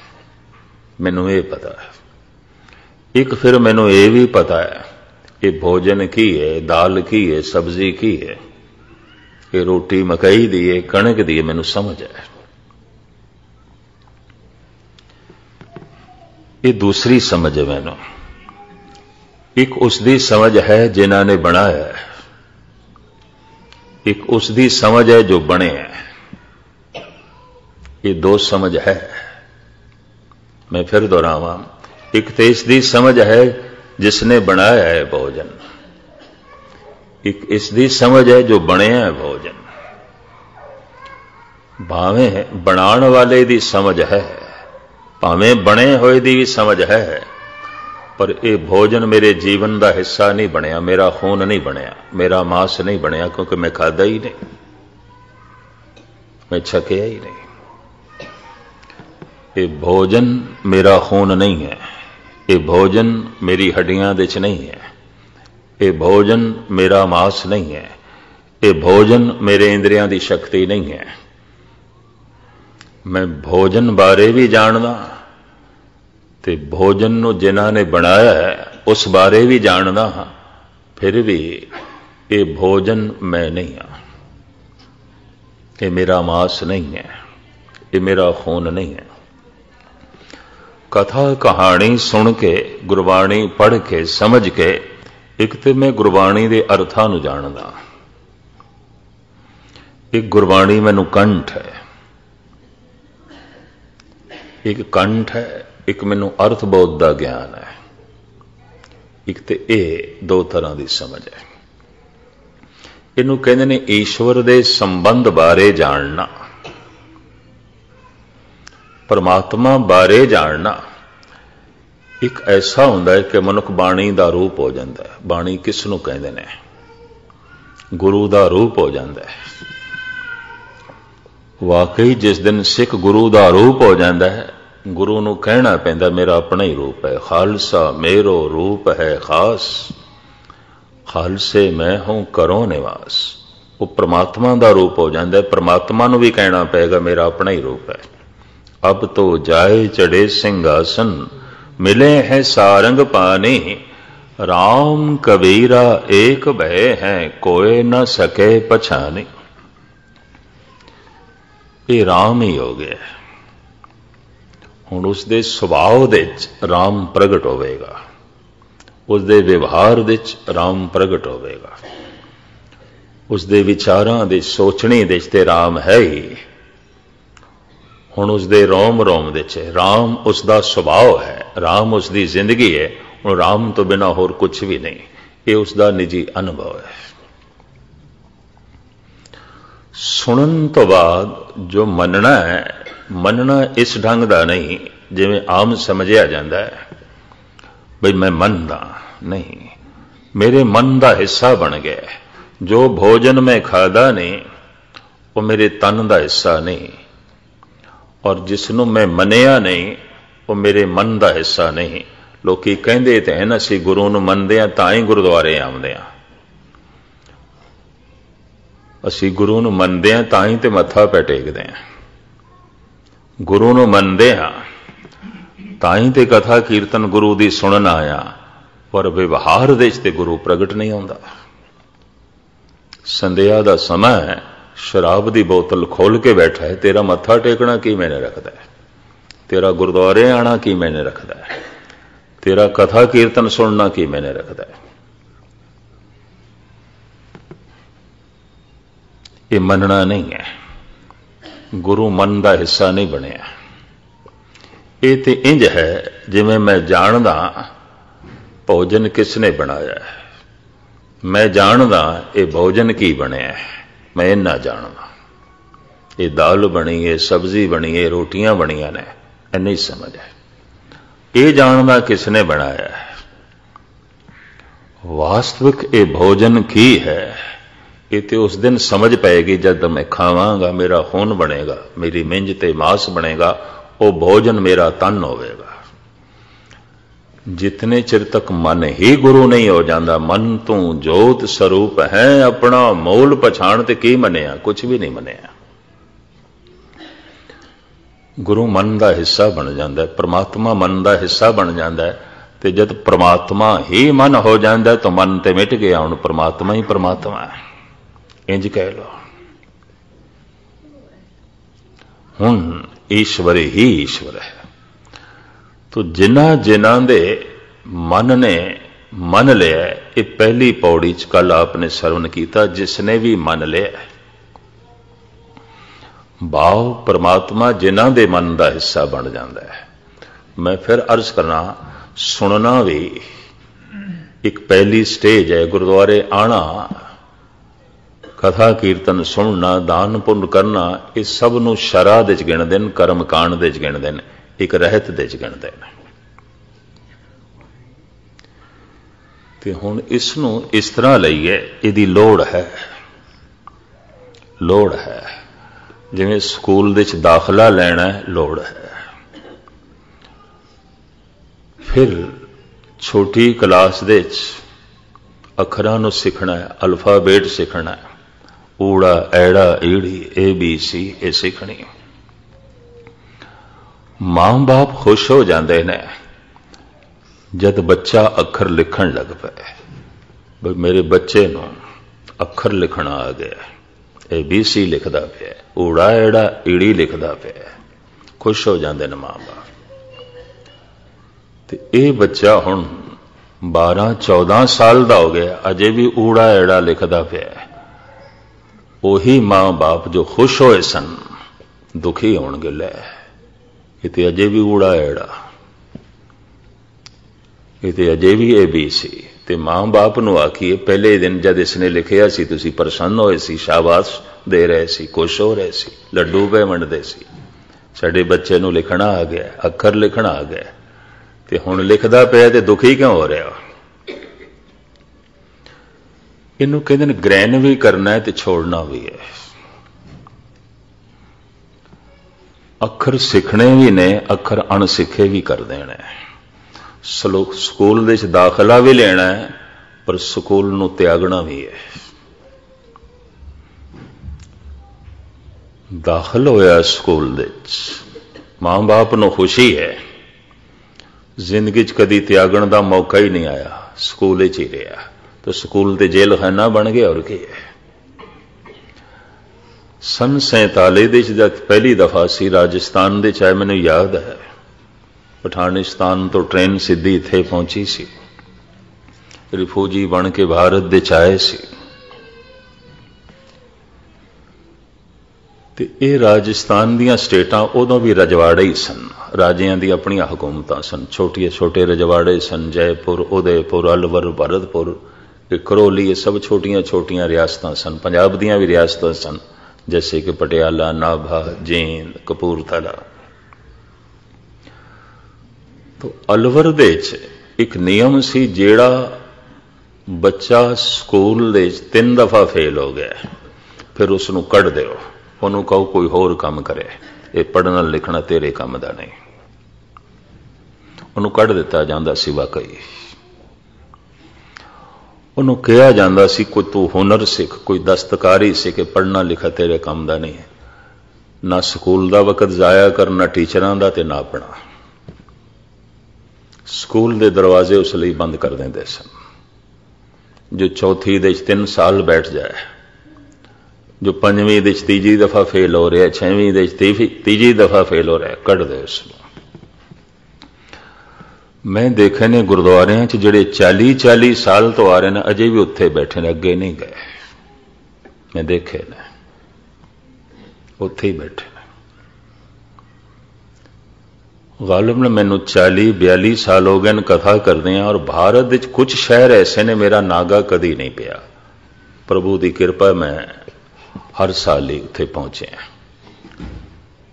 40 ਸਾਲ ਪਹਿਲੇ ਜਿੱਥੇ ਦੇਖੇ ਸਨ, ਅੱਜ ਵੀ ਉੱਥੇ ਉਹਨਾਂ ਦੇ ਮਾਨਸਿਕ ਮੰਡਲ ਵਿੱਚ ਕੋਈ ਤਬਦੀਲੀ ਨਹੀਂ ਹੋਈ। ਊੜਾ ਐੜਾ ਉਦੋਂ ਵੀ ਲਿਖਦੇ ਸਨ, ਹੁਣ ਵੀ ਲਿਖਦੇ ਨੇ। ਉਦੋਂ ਵੀ ਕਰਮਕਾਂਡੀ ਸਨ, ਅੱਜ ਵੀ ਕਰਮਕਾਂਡੀ ਨੇ। ਉਦੋਂ ਵੀ ਸ਼ਰਈ ਸਨ, ਅੱਜ ਵੀ ਸ਼ਰਈ ਨੇ। ਗ੍ਰਹਿਣ ਕਰਨਾ ਪੈਂਦਾ ਹੈ, ਛੋੜਨਾ ਵੀ ਪੈਂਦਾ ਹੈ। ਸਕੂਲ ਵਿੱਚ ਦਾਖਲਾ ਲੈਣਾ ਪੈਂਦਾ ਹੈ। ਸਕੂਲ ਤੋਂ ਅਲਵਿਦਾ ਵੀ ਹੋਣਾ ਪੈਂਦਾ ਵਿਦਾਇਗੀ ਵੀ ਦੇਣੀ ਪੈਂਦੀ ਹੈ। ਜਾ ਭਾਈ ਚਲੇ ਹੁਣ ਅਸੀਂ। ਬਿਮਾਰ ਹੈ ਔਸ਼ਧੀ ਖਾਣੀ ਵੀ ਪੈਂਦੀ ਹੈ। ਸੰਭਾਲ ਕੇ ਰੱਖਣੀ ਵੀ ਪੈਂਦੀ ਹੈ, ਖਾਣੀ ਵੀ ਪੈਂਦੀ ਹੈ। ਫਿਰ ਇੱਕ ਦਿਨ ਐਸਾ ਵੀ ਆਂਦਾ ਹੈ ਤੇ ਅਗਣੀ ਵੀ ਪੈਂਦੀ ਹੈ, ਛੱਡੋ ਇਸ ਨੂੰ। ਜੀਵਨ ਭਰ ਇਹ ਔਸ਼ਧੀ ਚੱਲਦੀ ਹੈ ਔਰ ਉਸ ਦਾ ਤਿਆਗ ਨਾ ਹੋਵੇ ਤਾਂ ਪਤਾ ਹੈ ਆਯੁਰਵੇਦ ਦੇ ਗ੍ਰੰਥਾਂ 'ਚ ਕੀ ਕਹਿੰਦੇ ਨੇ ਔਸ਼ਧੀ ਹੀ ਰੋਗ ਹੈ ਫਿਰ। ਰੋਗ ਤੇ ਰੋਗ ਹੋਵੇਗਾ, ਇਹ ਔਸ਼ਧੀ ਵੀ ਰੋਗ ਹੈ। ਹੁਣ ਜਿੰਨੇ ਚਿਰ ਤੱਕ ਰੋਗ ਰਹੇ, ਉਨੇ ਚਿਰ ਤੱਕ ਔਸ਼ਧੀ ਰਹੇ ਤੇ ਔਸ਼ਧੀ ਦਾ ਮਤਲਬ ਕੀ ਹੋਇਆ ਫਿਰ? ਔਸ਼ਧੀ ਖਾਣੀ ਵੀ ਪੈਂਦੀ ਹੈ। ਸੰਭਾਲ ਕੇ ਰੱਖਣੀ ਵੀ ਪੈਂਦੀ ਹੈ। ਇੱਕ ਦਿਨ ਉਹ ਵੀ ਆਂਦਾ ਹੈ ਕਿ ਸ਼ੀਸ਼ੀਆਂ ਦੇ ਵਿੱਚ ਪਈ ਹੋਈ ਦਵਾਈ ਪਰੇ ਸੁੱਟਣੀ ਪੈਂਦੀ ਹੈ। ਗੱਲ ਖਤਮ। ਜਦ ਤਨ ਤੋਂ ਰੋਗ ਨਿਕਲ ਗਿਆ ਤੇ ਇਹ ਔਸ਼ਧੀਆਂ ਤੂੰ ਘਰ ਚੋਂ ਨਿਕਲ। ਗੱਲ ਖਤਮ। ਪਰ ਮਨੁੱਖ ਦੀ ਮਮਤਾ ਹੋ ਜਾਏ, ਪਰ ਚੂੰਕਿ ਇਸ ਔਸ਼ਧੀ ਨੇ ਮੇਰਾ ਰੋਗ ਦੂਰ ਕੀਤਾ ਹੈ ਤੇ ਇਸ ਨੂੰ ਤੇ ਮੈਂ ਸੰਭਾਲ ਕੇ ਰੱਖਣਾ ਇਹਦੀ ਤੇ ਮੈਂ ਪੂਜਾ ਕਰਨੀ ਹੈ। ਇਹ ਔਸ਼ਧੀ ਰੋਗ ਬਣ ਜਾਏਗੀ। ਇੱਕ ਕਹਾਣੀ ਮੈਂ ਪੜ੍ਹੀ ਸੀ, ਪੰਜ ਚਾਰ ਬੰਦੇ ਬੇੜੀ ਤੋਂ ਪਾਰ ਹੋਏ। ਕਿਧਰੇ ਖੜੀ ਸੀ, ਸ਼ਾਮ ਦੇ ਵਕਤ ਕੱਲੀ ਬੇੜੀ। ਇੱਕ ਨੂੰ ਕਿਧਰੇ ਚੱਪੂ ਮਾਰਨਾ ਆਂਦਾ ਸੀ, ਮਾਰ ਕੇ ਪਾਰ ਹੋ ਗਏ। ਕਹਿਣ ਲੱਗੇ, ਬੜੀ ਕੀਮਤੀ ਚੀਜ਼ ਹੈ, ਦਰਿਆ ਤੋਂ ਪਾਰ ਕੀਤਾ ਹੈ ਤੇ ਚਾਰਾਂ ਨੇ ਸਿਰ ਤੇ ਚੁੱਕ ਲਿਆ। ਕਹਿਣ ਲੱਗੇ ਇਸ ਨੇ ਪਾਰ ਕੀਤਾ, ਹੁਣ ਅਸੀਂ ਇਸ ਨੂੰ ਨਹੀਂ ਛੋੜਾਂਗੇ। ਇਹਦਾ ਐਹਸਾਨ ਲੋਕੀ ਮੂੜ ਕਹਿਣ, ਠੀਕ ਹੈ, ਪਾਰ ਕੀਤਾ ਧੰਨਵਾਦ ਕਰਕੇ ਇੱਕ ਪਾਸੇ ਹੋ। ਸਿਰ ਤੇ ਚੁੱਕੀ ਫਿਰੇ ਅਗਰ ਸਾਰੀ ਜ਼ਿੰਦਗੀ ਕੋਈ, ਤੋ ਸਮਝ ਲੋ ਪਾਣੀ ਨੇ ਨਹੀਂ ਡੋਬੇ ਹੁਣ ਬੇੜੀ ਨਹੀਂ ਡੋਬ ਦਿੱਤਾ ਇਹੀ ਗੱਲ ਬਣੇਗੀ ਨਾ। ਬਹੁਤ ਸਾਰੀ ਦੁਨੀਆ ਕਰਮ ਕਾਂਡ ਦੇ ਚ ਡੁੱਬ ਕੇ ਰਹਿ ਜਾਂਦੀ ਹੈ। ਬਹੁਤ ਸਾਰੀ ਦੁਨੀਆ ਲਈ ਕਰਮ ਕਾਂਡ ਦਵਾਈ ਨਾ ਬਣ ਕੇ ਰੋਗ ਬਣ ਜਾਂਦਾ ਹੈ। ਬਹੁਤ ਸਾਰੇ ਲੋਕਾਂ ਲਈ ਸ਼ਰਾ ਸਕੂਲ ਨਾ ਬਣ ਕੇ ਜੇਲ੍ਹ ਬਣ ਜਾਂਦਾ ਹੈ। ਔਰ ਸ਼ਰਾ ਜੇਲ੍ਹ ਬਣ ਗਈ ਹੈ। ਕਰਮ ਕਾਂਡ ਰੋਗ ਬਣ ਗਿਆ ਹੈ। ਕਰਮ ਕਾਂਡ ਹੀ ਸਿਰ ਦਾ ਬੋਝ ਬਣ ਗਿਆ, ਬੇੜੀ ਦੀ ਤਰ੍ਹਾਂ। ਇਸ ਤਰ੍ਹਾਂ ਦੇ ਬੰਦੇ ਕਠੋਰ ਹੋਣਗੇ। ਧਰਮ ਦੀ ਦੁਨੀਆ ਦੇ ਚ ਅਗਰ ਬਹੁਤ ਵੱਡੇ ਖੂਨ ਖਰਾਬੇ ਹੁੰਦੇ ਨੇ, ਇਹਨਾਂ ਹੀ ਲੋਕਾਂ ਕਰਕੇ। ਸ਼ਰਾ ਹੀ ਸ਼ਰਾ ਹੈ, ਬਾਕੀ ਕੁਝ ਨਹੀਂ। ਸਿਰਫ ਸ਼ਰਾ ਹੈ। ਸਿਰਫ ਇਤਨਾ ਹੀ ਪਤਾ ਹੈ, ਭੋਜਨ ਕਿਸ ਨੇ ਬਣਾਇਆ? ਥੋੜਿਆਂ ਨੂੰ ਥੋੜੀ ਜਿਹਾ ਜ਼ਿਆਦਾ ਜਾਣਕਾਰੀ ਹੈ, ਭੋਜਨ ਕੀ ਬਣਿਆ ਖਾਦਾ ਕੋਈ ਨਹੀਂ। ਇਹ ਭੋਜਨ ਉਹਨਾਂ ਦਾ ਸਰੀਰ ਨਹੀਂ ਹੈ, ਇਹ ਭੋਜਨ ਉਹਨਾਂ ਦਾ ਖੂਨ ਨਹੀਂ ਹੈ, ਇਹ ਭੋਜਨ ਉਹਨਾਂ ਦੀ ਮਿੰਜ ਤੇ ਮਾਸ ਨਹੀਂ ਹੈ, ਇਹ ਭੋਜਨ ਉਹਨਾਂ ਦੀ ਹੱਡੀਆਂ ਦੇ ਵਿੱਚ ਨਹੀਂ ਹੈ। ਇਸ ਜਾਣਕਾਰੀ ਨੂੰ ਬੈਰੂਨੀ ਜਾਣਕਾਰੀ ਕਹਿੰਦੇ ਨੇ, ਅਨੁਭਵ ਨਹੀਂ ਹੈ। ਕਿਉਂਕਿ ਮਨ ਦਾ ਹਿੱਸਾ ਹੀ ਨਹੀਂ ਬਣਿਆ। ਮੈਂ ਇੱਕ ਦਫਾ ਫਿਰ ਦੁਹਰਾ ਦਿਆਂ ਕੱਲ ਵਾਲੀ ਵਿਚਾਰਧਾਰਾ ਜੋ ਭੋਜਨ ਮੈਂ ਛਕਿਆ ਨਹੀਂ, ਉਹ ਮੇਰੇ ਸਰੀਰ ਦਾ ਹਿੱਸਾ ਨਹੀਂ ਹੈ। ਜਿਸ ਨੂੰ ਮੈਂ ਅਜੇ ਆਪਣੇ ਮਨ ਦਾ ਹਿੱਸਾ ਨਹੀਂ ਬਣਾਇਆ, ਜੋ ਮੇਰੇ ਮਨ ਦਾ ਹਿੱਸਾ ਹੀ ਨਹੀਂ ਹੈ, ਉਹਨੂੰ ਮੈਂ ਕੀ ਮੰਨਿਆ? ਨਹੀਂ ਮੰਨਿਆ। ਧੰਨ ਗੁਰੂ ਗੋਬਿੰਦ ਸਿੰਘ ਜੀ ਮਹਾਰਾਜ ਨੇ ਐਵੇਂ ਨਹੀਂ ਮਨ ਨੂੰ ਗੁਰੂ ਕਹਿ ਦਿੱਤਾ ਮਨੁਆ ਗੁਰਮੁਰ ਮਨਸਾ ਮਾਈ ਜਿਨ ਮੋ ਕੋ ਸ਼ੁਭ ਕਿਰਿਆ ਪੜਾਈ। ਇਹ ਮਨ ਮੇਰਾ ਗੁਰੂ ਹੈ। ਮਨ ਨਹੀਂ ਤੇ ਪ੍ਰਮਾਤਮਾ ਨੂੰ ਪ੍ਰਗਟ ਕਰ ਦਿੱਤਾ। ਮਨ ਨੇ ਮਨਿਆ ਤੇ ਮਨਿਆ ਕਿ ਮਨ ਹੀ ਜੋਤ ਸਰੂਪ ਹੋ ਗਿਆ। ਮਨ ਤੋਂ ਜੋਤ ਸਰੂਪ ਹੈ ਆਪਣਾ ਮੂਲ ਪਛਾਣ। ਜਿਸ ਨੇ ਮੰਨ ਲਿਆ, ਮਹਾਰਾਜ ਕਹਿੰਦੇ ਨੇ, ਇੱਕ ਮਸਲਾ ਹੋਰ ਹੈ, ਸਮੱਸਿਆ ਹੋਰ ਹੈ।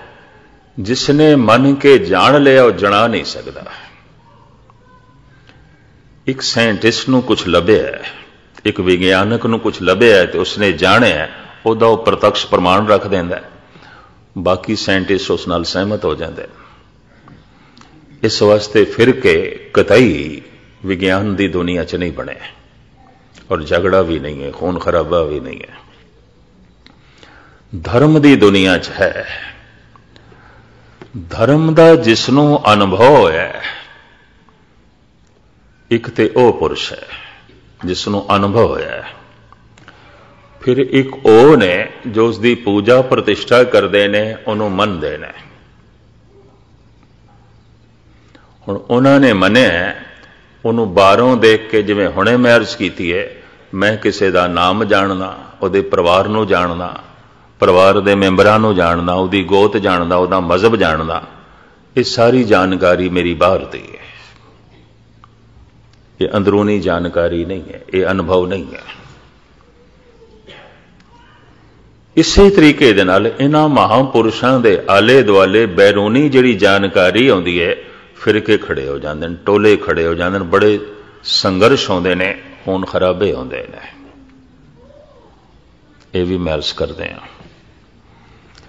ਚਾਰ ਮਹਾਪੁਰਸ਼ ਮਿਡਲ ਈਸਟ ਦੇ ਵਿੱਚ ਪੈਦਾ ਹੋਏ, ਮੂਸਾ ਹੋਇਆ, ਈਸਾ ਹੋਇਆ, ਜਰਦਰਸਤ ਹੋਇਆ ਔਰ ਮੁਹੰਮਦ ਸਾਹਿਬ ਹੋਏ ਮੇਰਾ ਐਸਾ ਅਨੁਭਵ ਅਗਰ ਚਾਰੋਂ ਇੱਕੋ ਹੀ ਸਮੇਂ ਹੁੰਦੇ ਤੇ ਇਹਨਾਂ ਨੇ ਇੱਕ ਦੂਜੇ ਨੂੰ ਗਲਵਕੜੀ 'ਚ ਲੈਣਾ ਸੀ ਪਰ ਚੂੰਕਿ ਸਮਾਂ ਦਾ ਗੈਪ ਪਾ ਕੇ ਹੋਏ ਨੇ ਅੰਤਰਾਲ ਦੇ ਨਾਲ ਹੋਏ ਨੇ 3000 ਸਾਲ ਪਹਿਲੇ موسی ਸੀ ਗਾਲਬਨ 2000 ਸਾਲ ਪਹਿਲੇ ਈਸਾ ਸੀ 17 1800 ਸਾਲ ਪਹਿਲੇ ਜਰਦਰਸਤ ਹੋਇਆ ਤੇ ਗਾਲਬਨ ਪੌਣੇ 1400 ਸਾਲ ਹੋਏ ਮੁਹੰਮਦ ਸਾਹਿਬ ਨੂੰ, ਤੋਂ ਸਮੇਂ ਦਾ ਅੰਤਰਾਲ ਹੈ।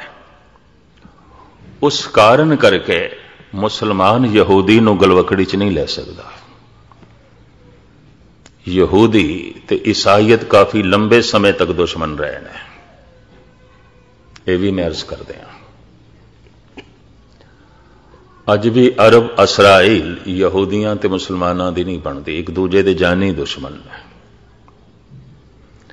ਪਰ ਉਹ ਚਾਰੇ ਜੇ ਕਿਧਰੇ ਇੱਕੇ ਸਮੇਂ ਚ ਆਉਂਦੇ, ਸਮੇਂ ਦਾ ਅੰਤਰਾਲ ਨਾ ਆਉਂਦਾ। ਤਾਂ ਉਹਨਾਂ ਚਾਰਾਂ ਨੇ ਗਲਵਕੜੀ ਇੱਕ ਦੂਜੇ ਨੂੰ ਲੈਣਾ ਸੀ।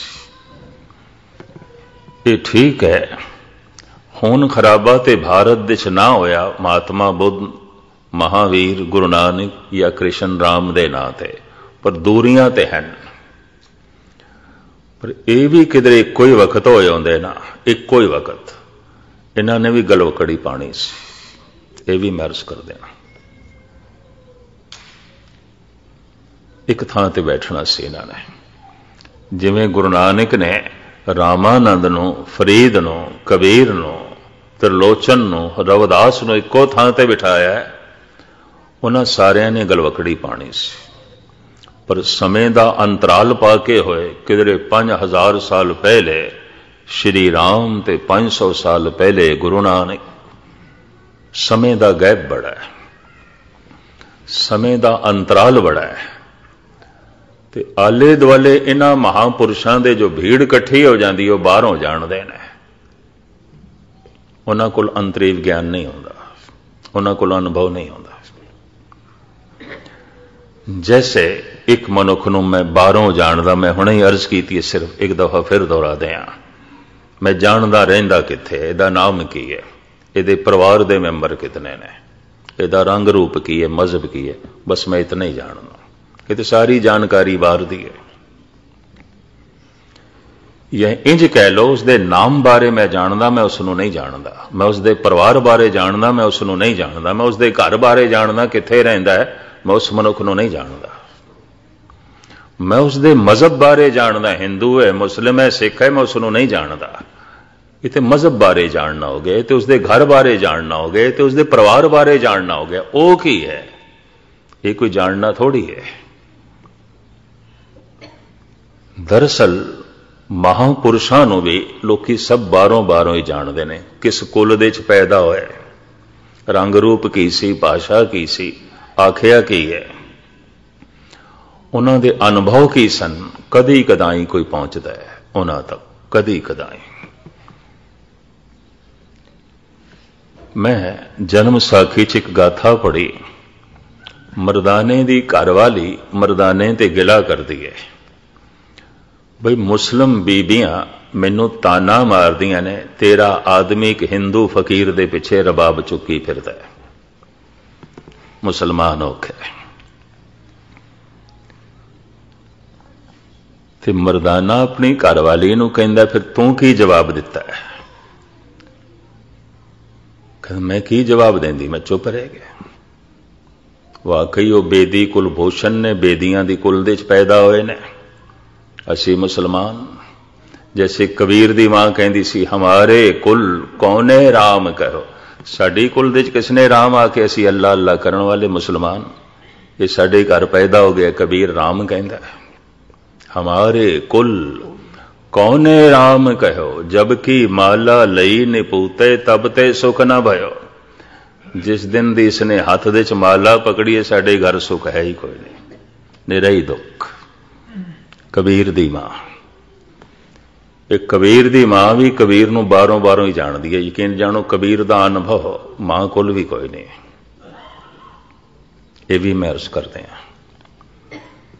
ਕਬੀਰ ਦੀ ਸੂਝ-ਬੂਝ, ਕਬੀਰ ਦੀ ਅਵਸਥਾ ਇਹ ਮਾਂ ਕੋਲ ਵੀ ਨਹੀਂ ਹੈ, ਵਰਨਾ ਇਤਨਾ ਉਹ ਨਾ ਕਹਿੰਦੀ।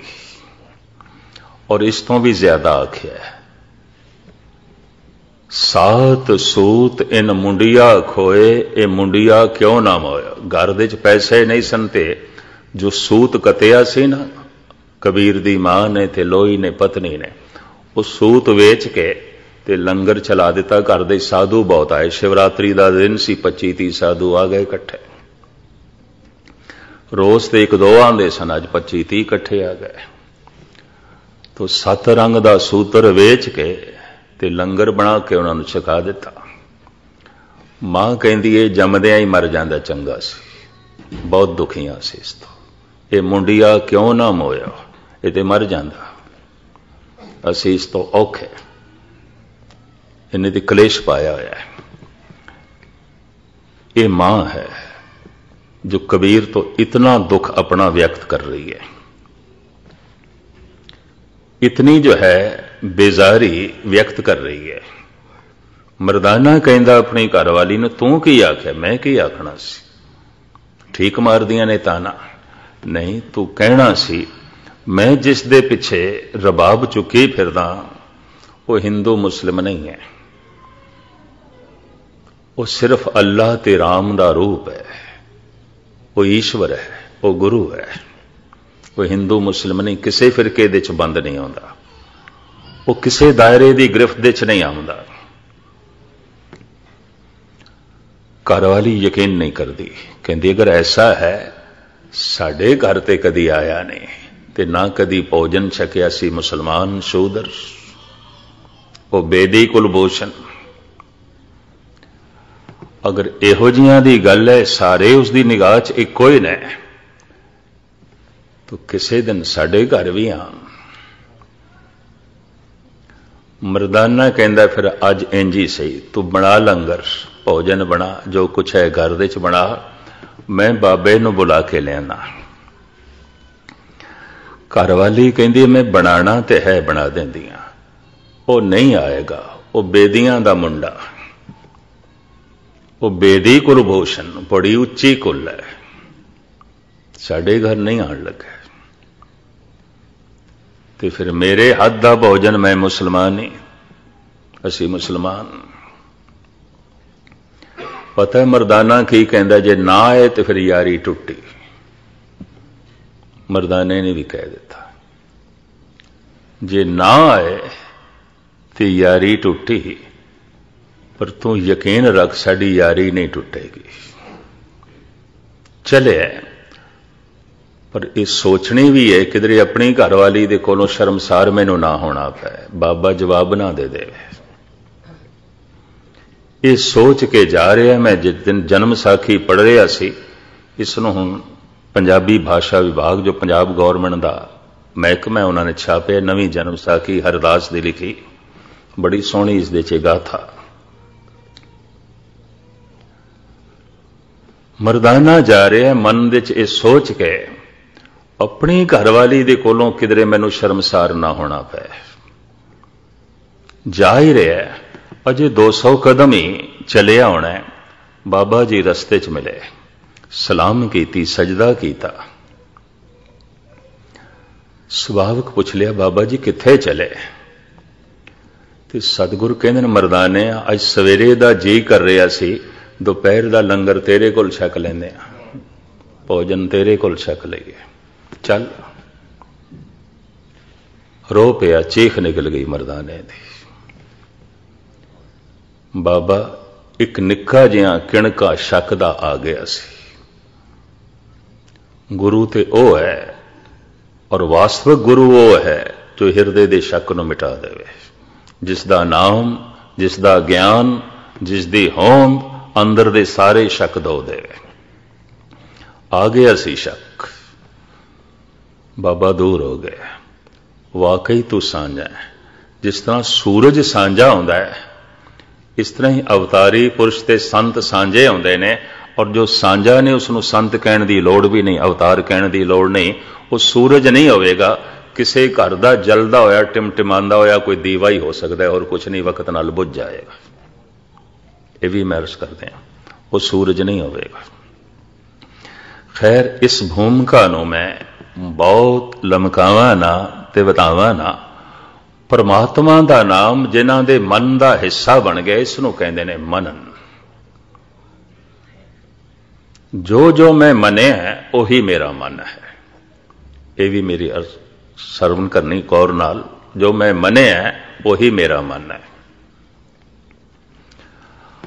ਅਗਰ ਮੈਂ ਲਕਸ਼ ਨੂੰ ਸਾਧਨ ਦੀ ਤਰ੍ਹਾਂ ਮੰਨਿਆ ਤੇ ਸਾਧਨ ਨੂੰ ਲਕਸ਼ ਦੀ ਤਰ੍ਹਾਂ, ਜੈਸੇ ਮੈਂ ਇਥੋਂ ਕਿਸੇ ਸ਼ਹਿਰ ਪਹੁੰਚਣਾ ਹੈ,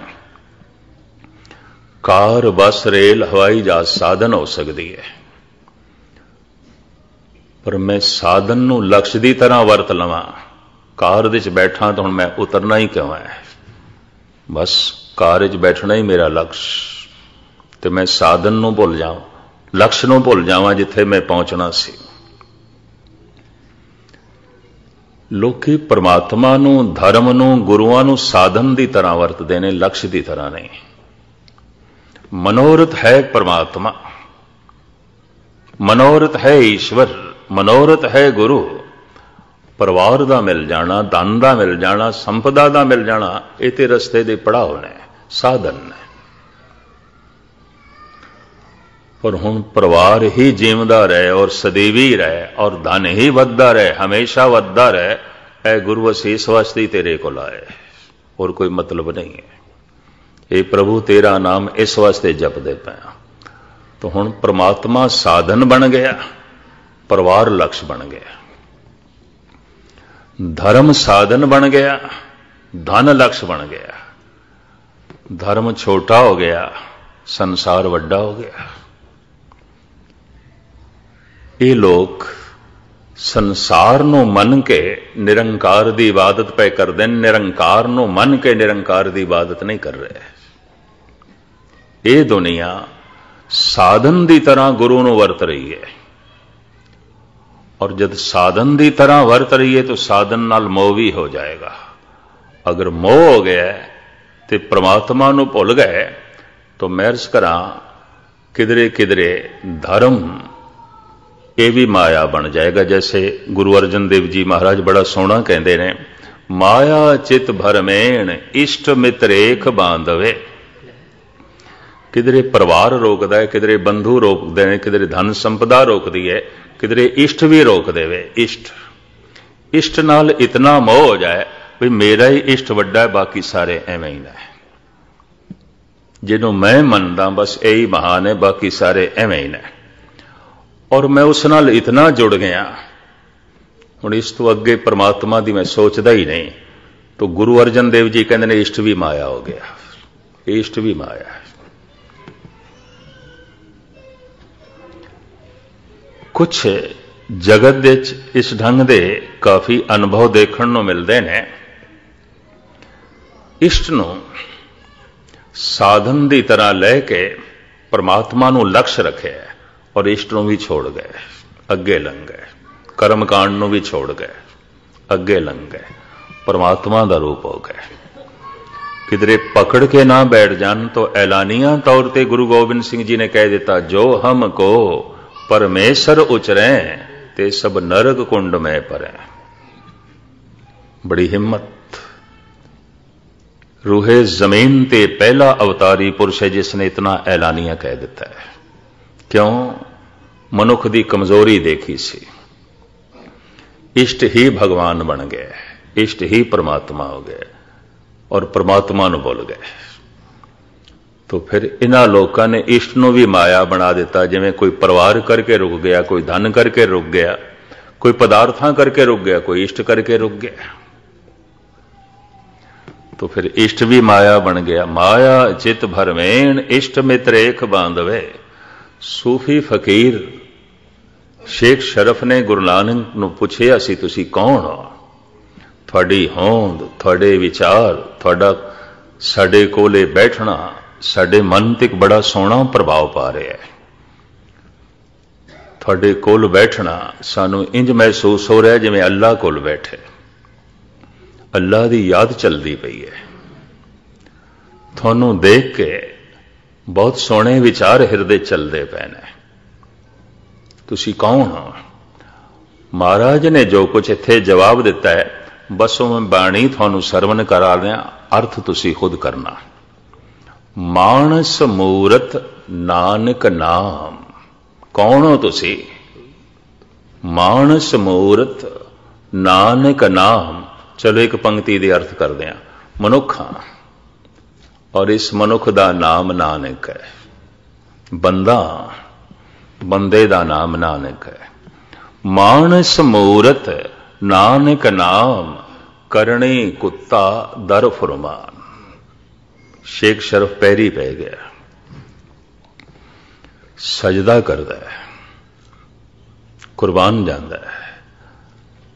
ਬਾਬਾ, ਐ ਵਲੀ ਅੱਲਾ, ਤੁਹਾਨੂੰ ਵੇਖ ਕੇ ਤੁਹਾਡੇ ਕੋਲ ਬੈਠ ਕੇ ਸਾਨੂੰ ਅੱਲਾ ਚੇਤੇ ਆਇਆ ਹੈ। ਰੱਬ ਚੇਤੇ ਆਇਆ, ਤੁਸੀਂ ਕੁਝ ਵੀ ਪਿਆ ਆਖੋ। ਸਾਨੂੰ ਅੱਲਾ ਚੇਤੇ ਆਇਆ ਹੈ।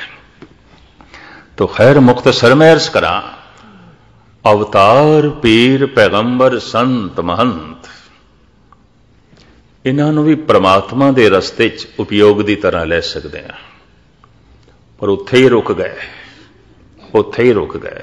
ਤੋ ਇਹ ਵੀ ਮਾਇਆ ਬਣ ਗਏ।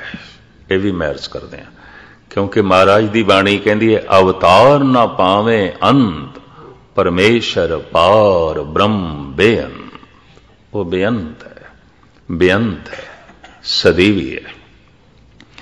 ਸਾਹਿਬ ਕਹਿੰਦੇ ਨੇ, ਇਸ ਤਰ੍ਹਾਂ ਦਾ ਅਨੁਭਵ ਪ੍ਰਮਾਤਮਾ ਦਾ ਜਿਸ ਨੂੰ ਪ੍ਰਾਪਤ ਹੋਇਆ ਹੈ, ਉਹੀ ਜਾਣਦਾ ਹੈ, ਪਰ ਉਹ ਜਣਾ ਨਹੀਂ ਸਕਦਾ, ਕਹਿ ਨਹੀਂ ਸਕਦਾ। ਕੁਝ ਵੀ ਨਹੀਂ ਕਹਿ ਸਕਦਾ।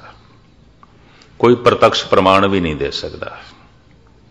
ਕਿ ਐਸਾ ਹੁੰਦਾ ਹੈ ਪ੍ਰਮਾਤਮਾ ਔਰ ਇਹ ਹੈ ਮੇਰੀ ਅਵਸਥਾ। ਅਗਰ ਵਾਕਈ ਉਹ ਕੋਈ ਪ੍ਰਤੱਖ ਪ੍ਰਮਾਣ ਦੇ ਦਿੰਦਾ, ਤਾਂ ਅੱਜ ਤੱਕ ਜਿਤਨੇ ਸੰਤ ਸੂਲੀ ਤੇ ਚਾੜੇ ਗਏ, ਤੱਤੀ ਤਵੀ ਤੇ ਬਿਠਾਏ ਗਏ, ਬੰਦ-ਬੰਦ ਕਟੇ ਗਏ, ਕਤਲ ਕੀਤੇ ਗਏ, ਜ਼ਹਿਰ ਦਾ ਪਿਆਲਾ ਦੇ ਕੇ ਮਾਰੇ ਗਏ, ਇਹ ਨਾ ਆਉਂਦਾ ਕੋਈ ਪ੍ਰਤੱਖ ਪ੍ਰਮਾਣ ਨਹੀਂ। ਇਤੇ ਐਸਾ ਨਾਮ ਨਿਰੰਜਨ ਹੋਏ, ਜੇ ਕੋ ਮਨ ਜਾਣੇ, ਮਨ ਕੋਏ। ਜਿਹਨੇ ਜਾਣਿਆ ਸੋ ਜਾਣਿਆ ਉਸ ਦਾ ਨਿੱਜੀ ਅਨੁਭਵ ਹੈ ਜਣਾ ਨਹੀਂ ਸਕਦਾ। ਕੋਈ ਪ੍ਰਤੱਖ ਪ੍ਰਮਾਣ ਉਹ ਨਹੀਂ ਦੇ ਸਕਦਾ। ਔਰ ਐਸਾ ਪੁਰਸ਼ ਈਸ਼ਵਰ ਦਾ ਰੂਪ ਹੋ ਗਿਆ ਹੁੰਦਾ ਹੈ ਈਸ਼ਵਰ ਦਾ ਸੁਭਾਅ ਉਸ ਦੇ ਅੰਦਰ ਹੈ ਈਸ਼ਵਰ ਆਨੰਦ ਹੈ ਤਾਂ ਆਨੰਦ ਉਸ ਦੇ ਅੰਦਰ ਹੈ ਈਸ਼ਵਰ ਜਨਮ ਮਰਨ ਤੋਂ ਰਹਿ ਰਹਿਤ ਤੋ ਜੀਵਨ ਦੀ ਲਾਲਸਾ ਤੇ ਮਰਨ ਦਾ ਭੈ ਉਸ ਦੇ ਅੰਦਰ ਨਹੀਂ ਹੈ ਨਾਨਕ ਬੱਧਾ ਘਰ ਤਹਾਂ ਜਿੱਥੇ ਮਿਰਤ ਨਾ ਜਨਮ ਜਰਾ। ਪਰਮਾਤਮਾ ਮਹਾਰਸ ਹੈ ਤਾਂ ਮਹਾਰਸ ਉਸ ਦੇ ਅੰਦਰ ਹੈ। ਤੋ ਖੈਰ ਲਮਕਾਵਾ ਨਾ ਸਾਹਿਬ ਕਹਿੰਦੇ ਨੇ ਜਿਸ ਨੇ ਵੀ ਮੰਨ ਲਿਆ, ਮਨ ਸੁਰਤ ਹੋਵੇ ਮਨ ਬੁੱਧ। ਇਥੇ ਸੁਰਤ ਤੋਂ ਮੁਰਾਦ ਹੈ ਸਮਝ। ਉਸ ਤੇ ਮਨ ਨੂੰ ਸਮਝ ਆ ਜਾਏਗੀ, ਭਾਵ ਉਸ ਦੇ ਅੰਦਰ ਵਿਚਾਰ ਚੱਲਣਗੇ ਪ੍ਰਮਾਤਮਾਮਈ। ਉਸ ਦੀ ਬੁੱਧ ਜੋ ਫੈਸਲਾ ਕਰੇਗੀ, ਨਿਰਣਾ ਕਰੇਗੀ, ਸਹੀ ਕਰੇਗੀ, ਕਤਈ ਗਲਤ ਨਹੀਂ ਕਰੇਗੀ। ਉਸ ਦਾ ਫੈਸਲਾ ਕਿਸੇ ਨੂੰ ਕਾਬਲੇ ਕਬੂਲ ਹੈ ਜਾਂ ਨਹੀਂ, ਇਹ ਗੱਲ ਨਹੀਂ, ਪਰ ਉਸ ਦਾ ਫੈਸਲਾ ਗਲਤ ਨਹੀਂ ਹੋਵੇਗਾ। ਕਿਉਂਕਿ ਉਸ ਨੇ ਪ੍ਰਮਾਤਮਾ ਨੂੰ ਮੰਨਿਆ ਤੇ ਪਰਮਾਤਮਾ ਉਸ ਦੇ ਮਨ ਦਾ ਹਿੱਸਾ ਹੈ, ਇਸ ਵਾਸਤੇ ਉਹਨੂੰ ਸਮਝ ਹੋਵੇਗੀ। ਮਨ ਨੇ ਸੁਰਤ ਹੋਵੇ, ਮਨ ਬੁੱਧ। ਮਨ ਨੂੰ ਸਮਝ ਹੋਵੇਗੀ, ਬੁੱਧ ਨੂੰ ਸਮਝ ਹੋਵੇਗੀ ਭਾਵ ਅੰਦਰ ਵਿਚਾਰ ਈਸ਼ਵਰਮਈ ਚੱਲਣਗੇ। ਉਹਦਾ ਫੈਸਲਾ ਬਿਲਕੁਲ ਸਹੀ ਹੋਵੇਗਾ ਗਲਤ ਨਹੀਂ ਹੋਵੇਗਾ। ਹਾਂਜੀ ਮਨ ਸੁਰਤ ਹੋਵੇ ਮਨ ਬੁੱਧ ਮਨ ਸਗਲ ਭਵਨ ਕੀ ਸੁਧ। ਇਸ ਤਰ੍ਹਾਂ ਦੇ ਪੁਰਸ਼ ਨੂੰ ਸਾਰੇ ਖੰਡਾਂ ਬ੍ਰਹਿਮੰਡਾਂ ਦੀ ਸਮਝ ਹੋਵੇਗੀ। ਕਾਰਨ ਸਰੀਰ ਸਭ ਦੇ ਅਲੱਗ-ਅਲੱਗ ਨੇ। ਮਨ ਵੀ ਸਭ ਦੇ ਅਲੱਗ-ਅਲੱਗ ਨੇ। ਪਰ ਜੋ ਆਤਮਾ ਦੇ ਤਲ ਤੇ ਜੀ ਰਿਹਾ ਹੈ ਪ੍ਰਮਾਤਮਾ ਦੇ ਤਲ ਤੇ ਜੀ ਰਿਹਾ ਹੈ ਜਿਸ ਦਾ ਮਨ ਜੋਤ ਸਰੂਪ ਹੋ ਗਿਆ ਉਹ ਤੇ ਵਿਆਪਕ ਹੋ ਗਿਆ ਇੱਕ ਹੋ ਗਿਆ। ਤਾਂ ਉਸ ਨੂੰ ਸਭ ਕੁਝ ਦੀ ਸਮਝ ਹੈ। ਇਸ ਤਰ੍ਹਾਂ ਦੇ ਪੁਰਸ਼ ਨੂੰ ਅੰਤਰਯਾਮੀ ਕਹਿ ਦਿੰਦੇ ਨੇ। ਐਸੇ ਪੁਰਸ਼ਾਂ ਨੇ ਪ੍ਰਾਚੀਨ ਜ਼ਮਾਨੇ ਜੜੀ ਬੂਟੀਆਂ ਦੇ ਸੁਭਾਅ ਲਿਖੇ ਨੇ। ਵੈ ਧਨੰਤਰ ਨੇ 3000 ਜੜੀ ਬੂਟੀਆਂ ਦਾ ਸੁਭਾਅ ਲਿਖਿਆ ਹੈ। ਮੈਂ ਸਮਝਦਾ ਇਸ ਛੋਟੀ ਜਿਹੀ ਜ਼ਿੰਦਗੀ 3000 ਜੜੀ ਬੂਟੀਆਂ ਦਾ ਸੁਭਾਅ। ਇਹ ਗਰਮ ਤਰਨੇ ਸਰਦ ਤਰਨੇ ਖੁਸ਼ਕ ਨੇ, ਕੀ ਨੇ? ਕਿਹੜੇ ਕਿਹੜੇ ਰੋਗਾਂ ਦੇ ਵਿੱਚ ਕੰਮ ਆ ਸਕਦੀਆਂ ਨੇ? ਇਹ ਤਾਂ ਹੀ ਮੈਂ ਸਮਝਦਾ ਲਿਖਿਆ ਜਾ ਸਕਦਾ ਕੋਈ ਆਤਮਾ ਦੇ ਤਲ ਤੇ ਜੀ ਰਿਹਾ ਸੀ ਤੇ ਆਤਮਾ ਤੇ ਸਾਰਿਆਂ ਦੀ ਕੋਈ ਹੈ। ਤੁਹਾਨੂੰ ਸੁਭਾਅ ਸਾਰਿਆਂ ਦਾ ਪਤਾ ਚੱਲ ਗਿਆ। ਇਸ ਤਰ੍ਹਾਂ ਦਾ ਮਨੁੱਖ ਇਹ ਵੀ ਸਮਝ ਸਕਦਾ ਹੈ, ਇਹ ਕੀੜੀ ਅੰਦਰ ਕੀ ਸੋਚ ਰਹੀ ਹੈ, ਇਹ ਮੱਛਲੀ ਦੇ ਅੰਦਰ ਕੀ ਚੱਲ ਰਿਹਾ ਹੈ। ਜੋ ਬੋਲਤ ਹੈ ਮ੍ਰਿਗਮੇਨ ਪੰਖੇਰੂ, ਸੋ ਬਿਨ ਹਰ ਜਾਪਤ ਹੈ ਨਹੀਂ ਹੋਰ ਗੁਰੂ ਨਾਨਕ। ਹੈਰਾਨਗੀ ਦੀ ਗੱਲ। ਇਹਦਾ ਮਤਲਬ ਮੱਛੀ ਵੀ ਕੁਝ ਬੋਲਦੀ ਹੈ। ਹਿਰਨ ਵੀ ਬੋਲਦੇ ਨੇ, ਪੰਛੀ ਤੇ ਬੋਲਦੇ ਨੇ, ਆਵਾਜ਼ਾਂ ਅਸੀਂ ਸੁਣਦੇ ਹਾਂ। ਹਰ ਇੱਕ ਕੋਲ ਕੁਛ ਨਾ ਕੁਛ ਆਪਣੀ ਬੋਲ, ਆਪਣੇ ਇਸ਼ਾਰੇ ਹਨ। ਪਰ ਉਹ ਮਨੁੱਖ ਸਮਝਣ ਲੱਗ ਪੈਂਦਾ ਹੈ, ਜੋ ਆਤਮਾ ਦੇ ਤਲ ਤੇ ਉੱਥੇ ਜੋ ਹੈ ਜਿਉਂਦਾ ਹੈ। ਸਾਹਿਬ ਕਹਿੰਦੇ ਨੇ ਇਸ ਤਰ੍ਹਾਂ ਦੇ ਪੁਰਸ਼ ਨੂੰ ਸਾਰੇ ਭਵਨਾਂ ਦੀ ਸਾਰੇ ਖੰਡਾਂ ਬ੍ਰਹਿਮੰਡਾਂ ਦੀ ਸਮਝ ਆਉਂਦੀ ਹਾਂਜੀ। ਮਨ ਮੋ ਚੋਟਾ ਨਾ ਖਾਏ। ਜੋ ਈਸ਼ਵਰ ਦੇ ਨਾਮ ਨੂੰ ਮੰਨਦਾ ਹੈ ਭਾਵ ਈਸ਼ਵਰ ਜਿਸ ਦੇ ਮਨ ਦਾ ਹਿੱਸਾ ਬਣ ਗਿਆ ਹੈ ਵਿਕਾਰਾਂ ਦੀਆਂ ਚੋਟਾਂ ਉਸ ਦੇ ਮੂੰਹ ਤੇ ਨਹੀਂ ਪੈਂਦੀਆਂ। ਮਨੁੱਖ ਕ੍ਰੋਧਰ ਹੋਵੇ ਉਹਦੀਆਂ ਅੱਖਾਂ ਤੇ ਚਿਹਰਾ ਦੱਸਦਾ ਹੈ। ਮਨੁੱਖ ਲੋਭ ਦੇ ਚ ਗਰਸਿਆ ਹੋਵੇ ਉਹਦਾ ਅੱਖਾਂ ਤੇ ਚਿਹਰਾ ਦੱਸਦਾ ਹੈ ਵਿਵਹਾਰ ਦੱਸਦਾ ਹੈ। ਵਾਸ਼ਨਾ ਉਸ ਦੇ ਅੰਦਰ ਅਸੀਮ ਹੈ, ਉਸ ਦੀਆਂ ਅੱਖਾਂ ਤੇ ਚਿਹਰਾ ਦੱਸਦਾ ਹੈ। ਇੰਜ ਵਿਕਾਰ ਦੀ ਚੋਟ ਚਿਹਰੇ ਤੇ ਪੈਂਦੀ ਹੈ। ਪ੍ਰਮਾਤਮਾ ਜਿਸ ਦੇ ਮਨ ਦਾ ਹਿੱਸਾ ਬਣ ਗਏ ਵਿਕਾਰਾਂ ਦੀ ਚੋਟ ਉਸ ਦੇ ਮੂੰਹ ਤੇ ਨਹੀਂ ਪੈਂਦੀ। ਉਸ ਦਾ ਮੁਖੜਾ, ਜਿਨ੍ਹਾਂ ਦੇ ਸੰਦੜਿਆਂ ਮੇਰੀ ਦੁਰਮਤ ਵੰਜੇ, ਮਿੱਤਰ ਅਸਾਡੜੇ ਸੇ, ਉਸ ਦਾ ਤੇ ਮੁਖੜਾ ਐਸਾ ਹੋਵੇਗਾ, ਵੇਖ ਕੇ ਪ੍ਰਭੂ ਚੇਤੇ ਆਵੇਗਾ। ਮੈਂ ਇਤਿਹਾਸ ਦੇ ਵਿੱਚ ਪੜਿਆ ਹੈ। ਮੀਰਾ ਜਿਸ ਜਿਸ ਪਿੰਡ ਚੋਂ ਲੰਘੀ ਔਰ ਕੱਲੀ ਤਨਹਾ ਜੰਗਲਾਂ ਵਿੱਚ ਰਹੀ ਦੁਸ਼ਟ ਤੋਂ ਦੁਸ਼ਟ ਵੀ ਜਦ ਉਸ ਨੂੰ ਵੇਖਦਾ ਸੀ, ਉਸ ਦੇ ਅੰਦਰ ਪਵਿੱਤਰਤਾ ਪੈਦਾ ਹੋ ਜਾਂਦੀ ਸੀ, ਭਾਵੇਂ ਕੱਲੀ ਇਸਤਰੀ ਜੰਗਲ ਦੇ ਵਿੱਚ।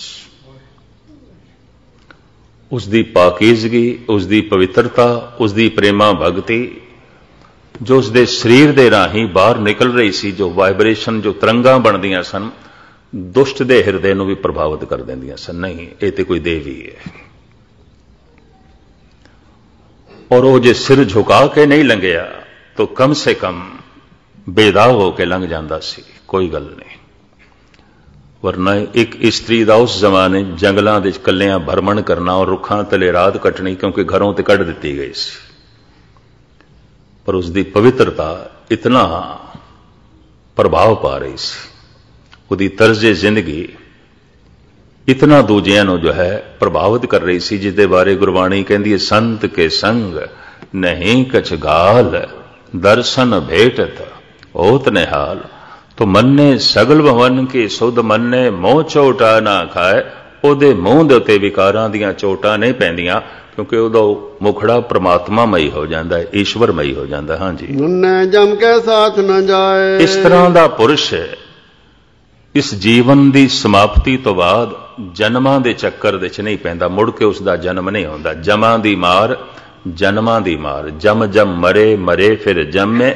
ਬਹੁਤ ਸਜ਼ਾਏ ਪਿਆ ਦੇ ਸਲਮੇ ਮੁੜ ਮੁੜ ਕੇ ਨਹੀਂ ਜਨਮਦਾ। ਉਸ ਦਾ ਕੋਈ ਜਨਮ ਨਹੀਂ ਆਉਂਦਾ। ਹਾਂਜੀ ਐਸਾ ਨਾਮ ਨਿਰੰਜਨ ਹੋਏ। ਪਰਮਾਤਮਾ ਦਾ ਨਾਮ ਐਸਾ ਨਿਰਲੇਪ ਹੈ ਤਬਿਆਂ ਤੋਂ ਰਹਿਤ ਹੈ। ਹਾਂਜੀ ਜੇ। ਕੋ ਮਨ ਜਾਣੈ ਮਨ ਪਰ ਕੋਏ। ਜਿਹੜਾ ਜਾਣਦਾ ਹੈ ਉਹੀ ਜਾਣਦਾ ਹੈ।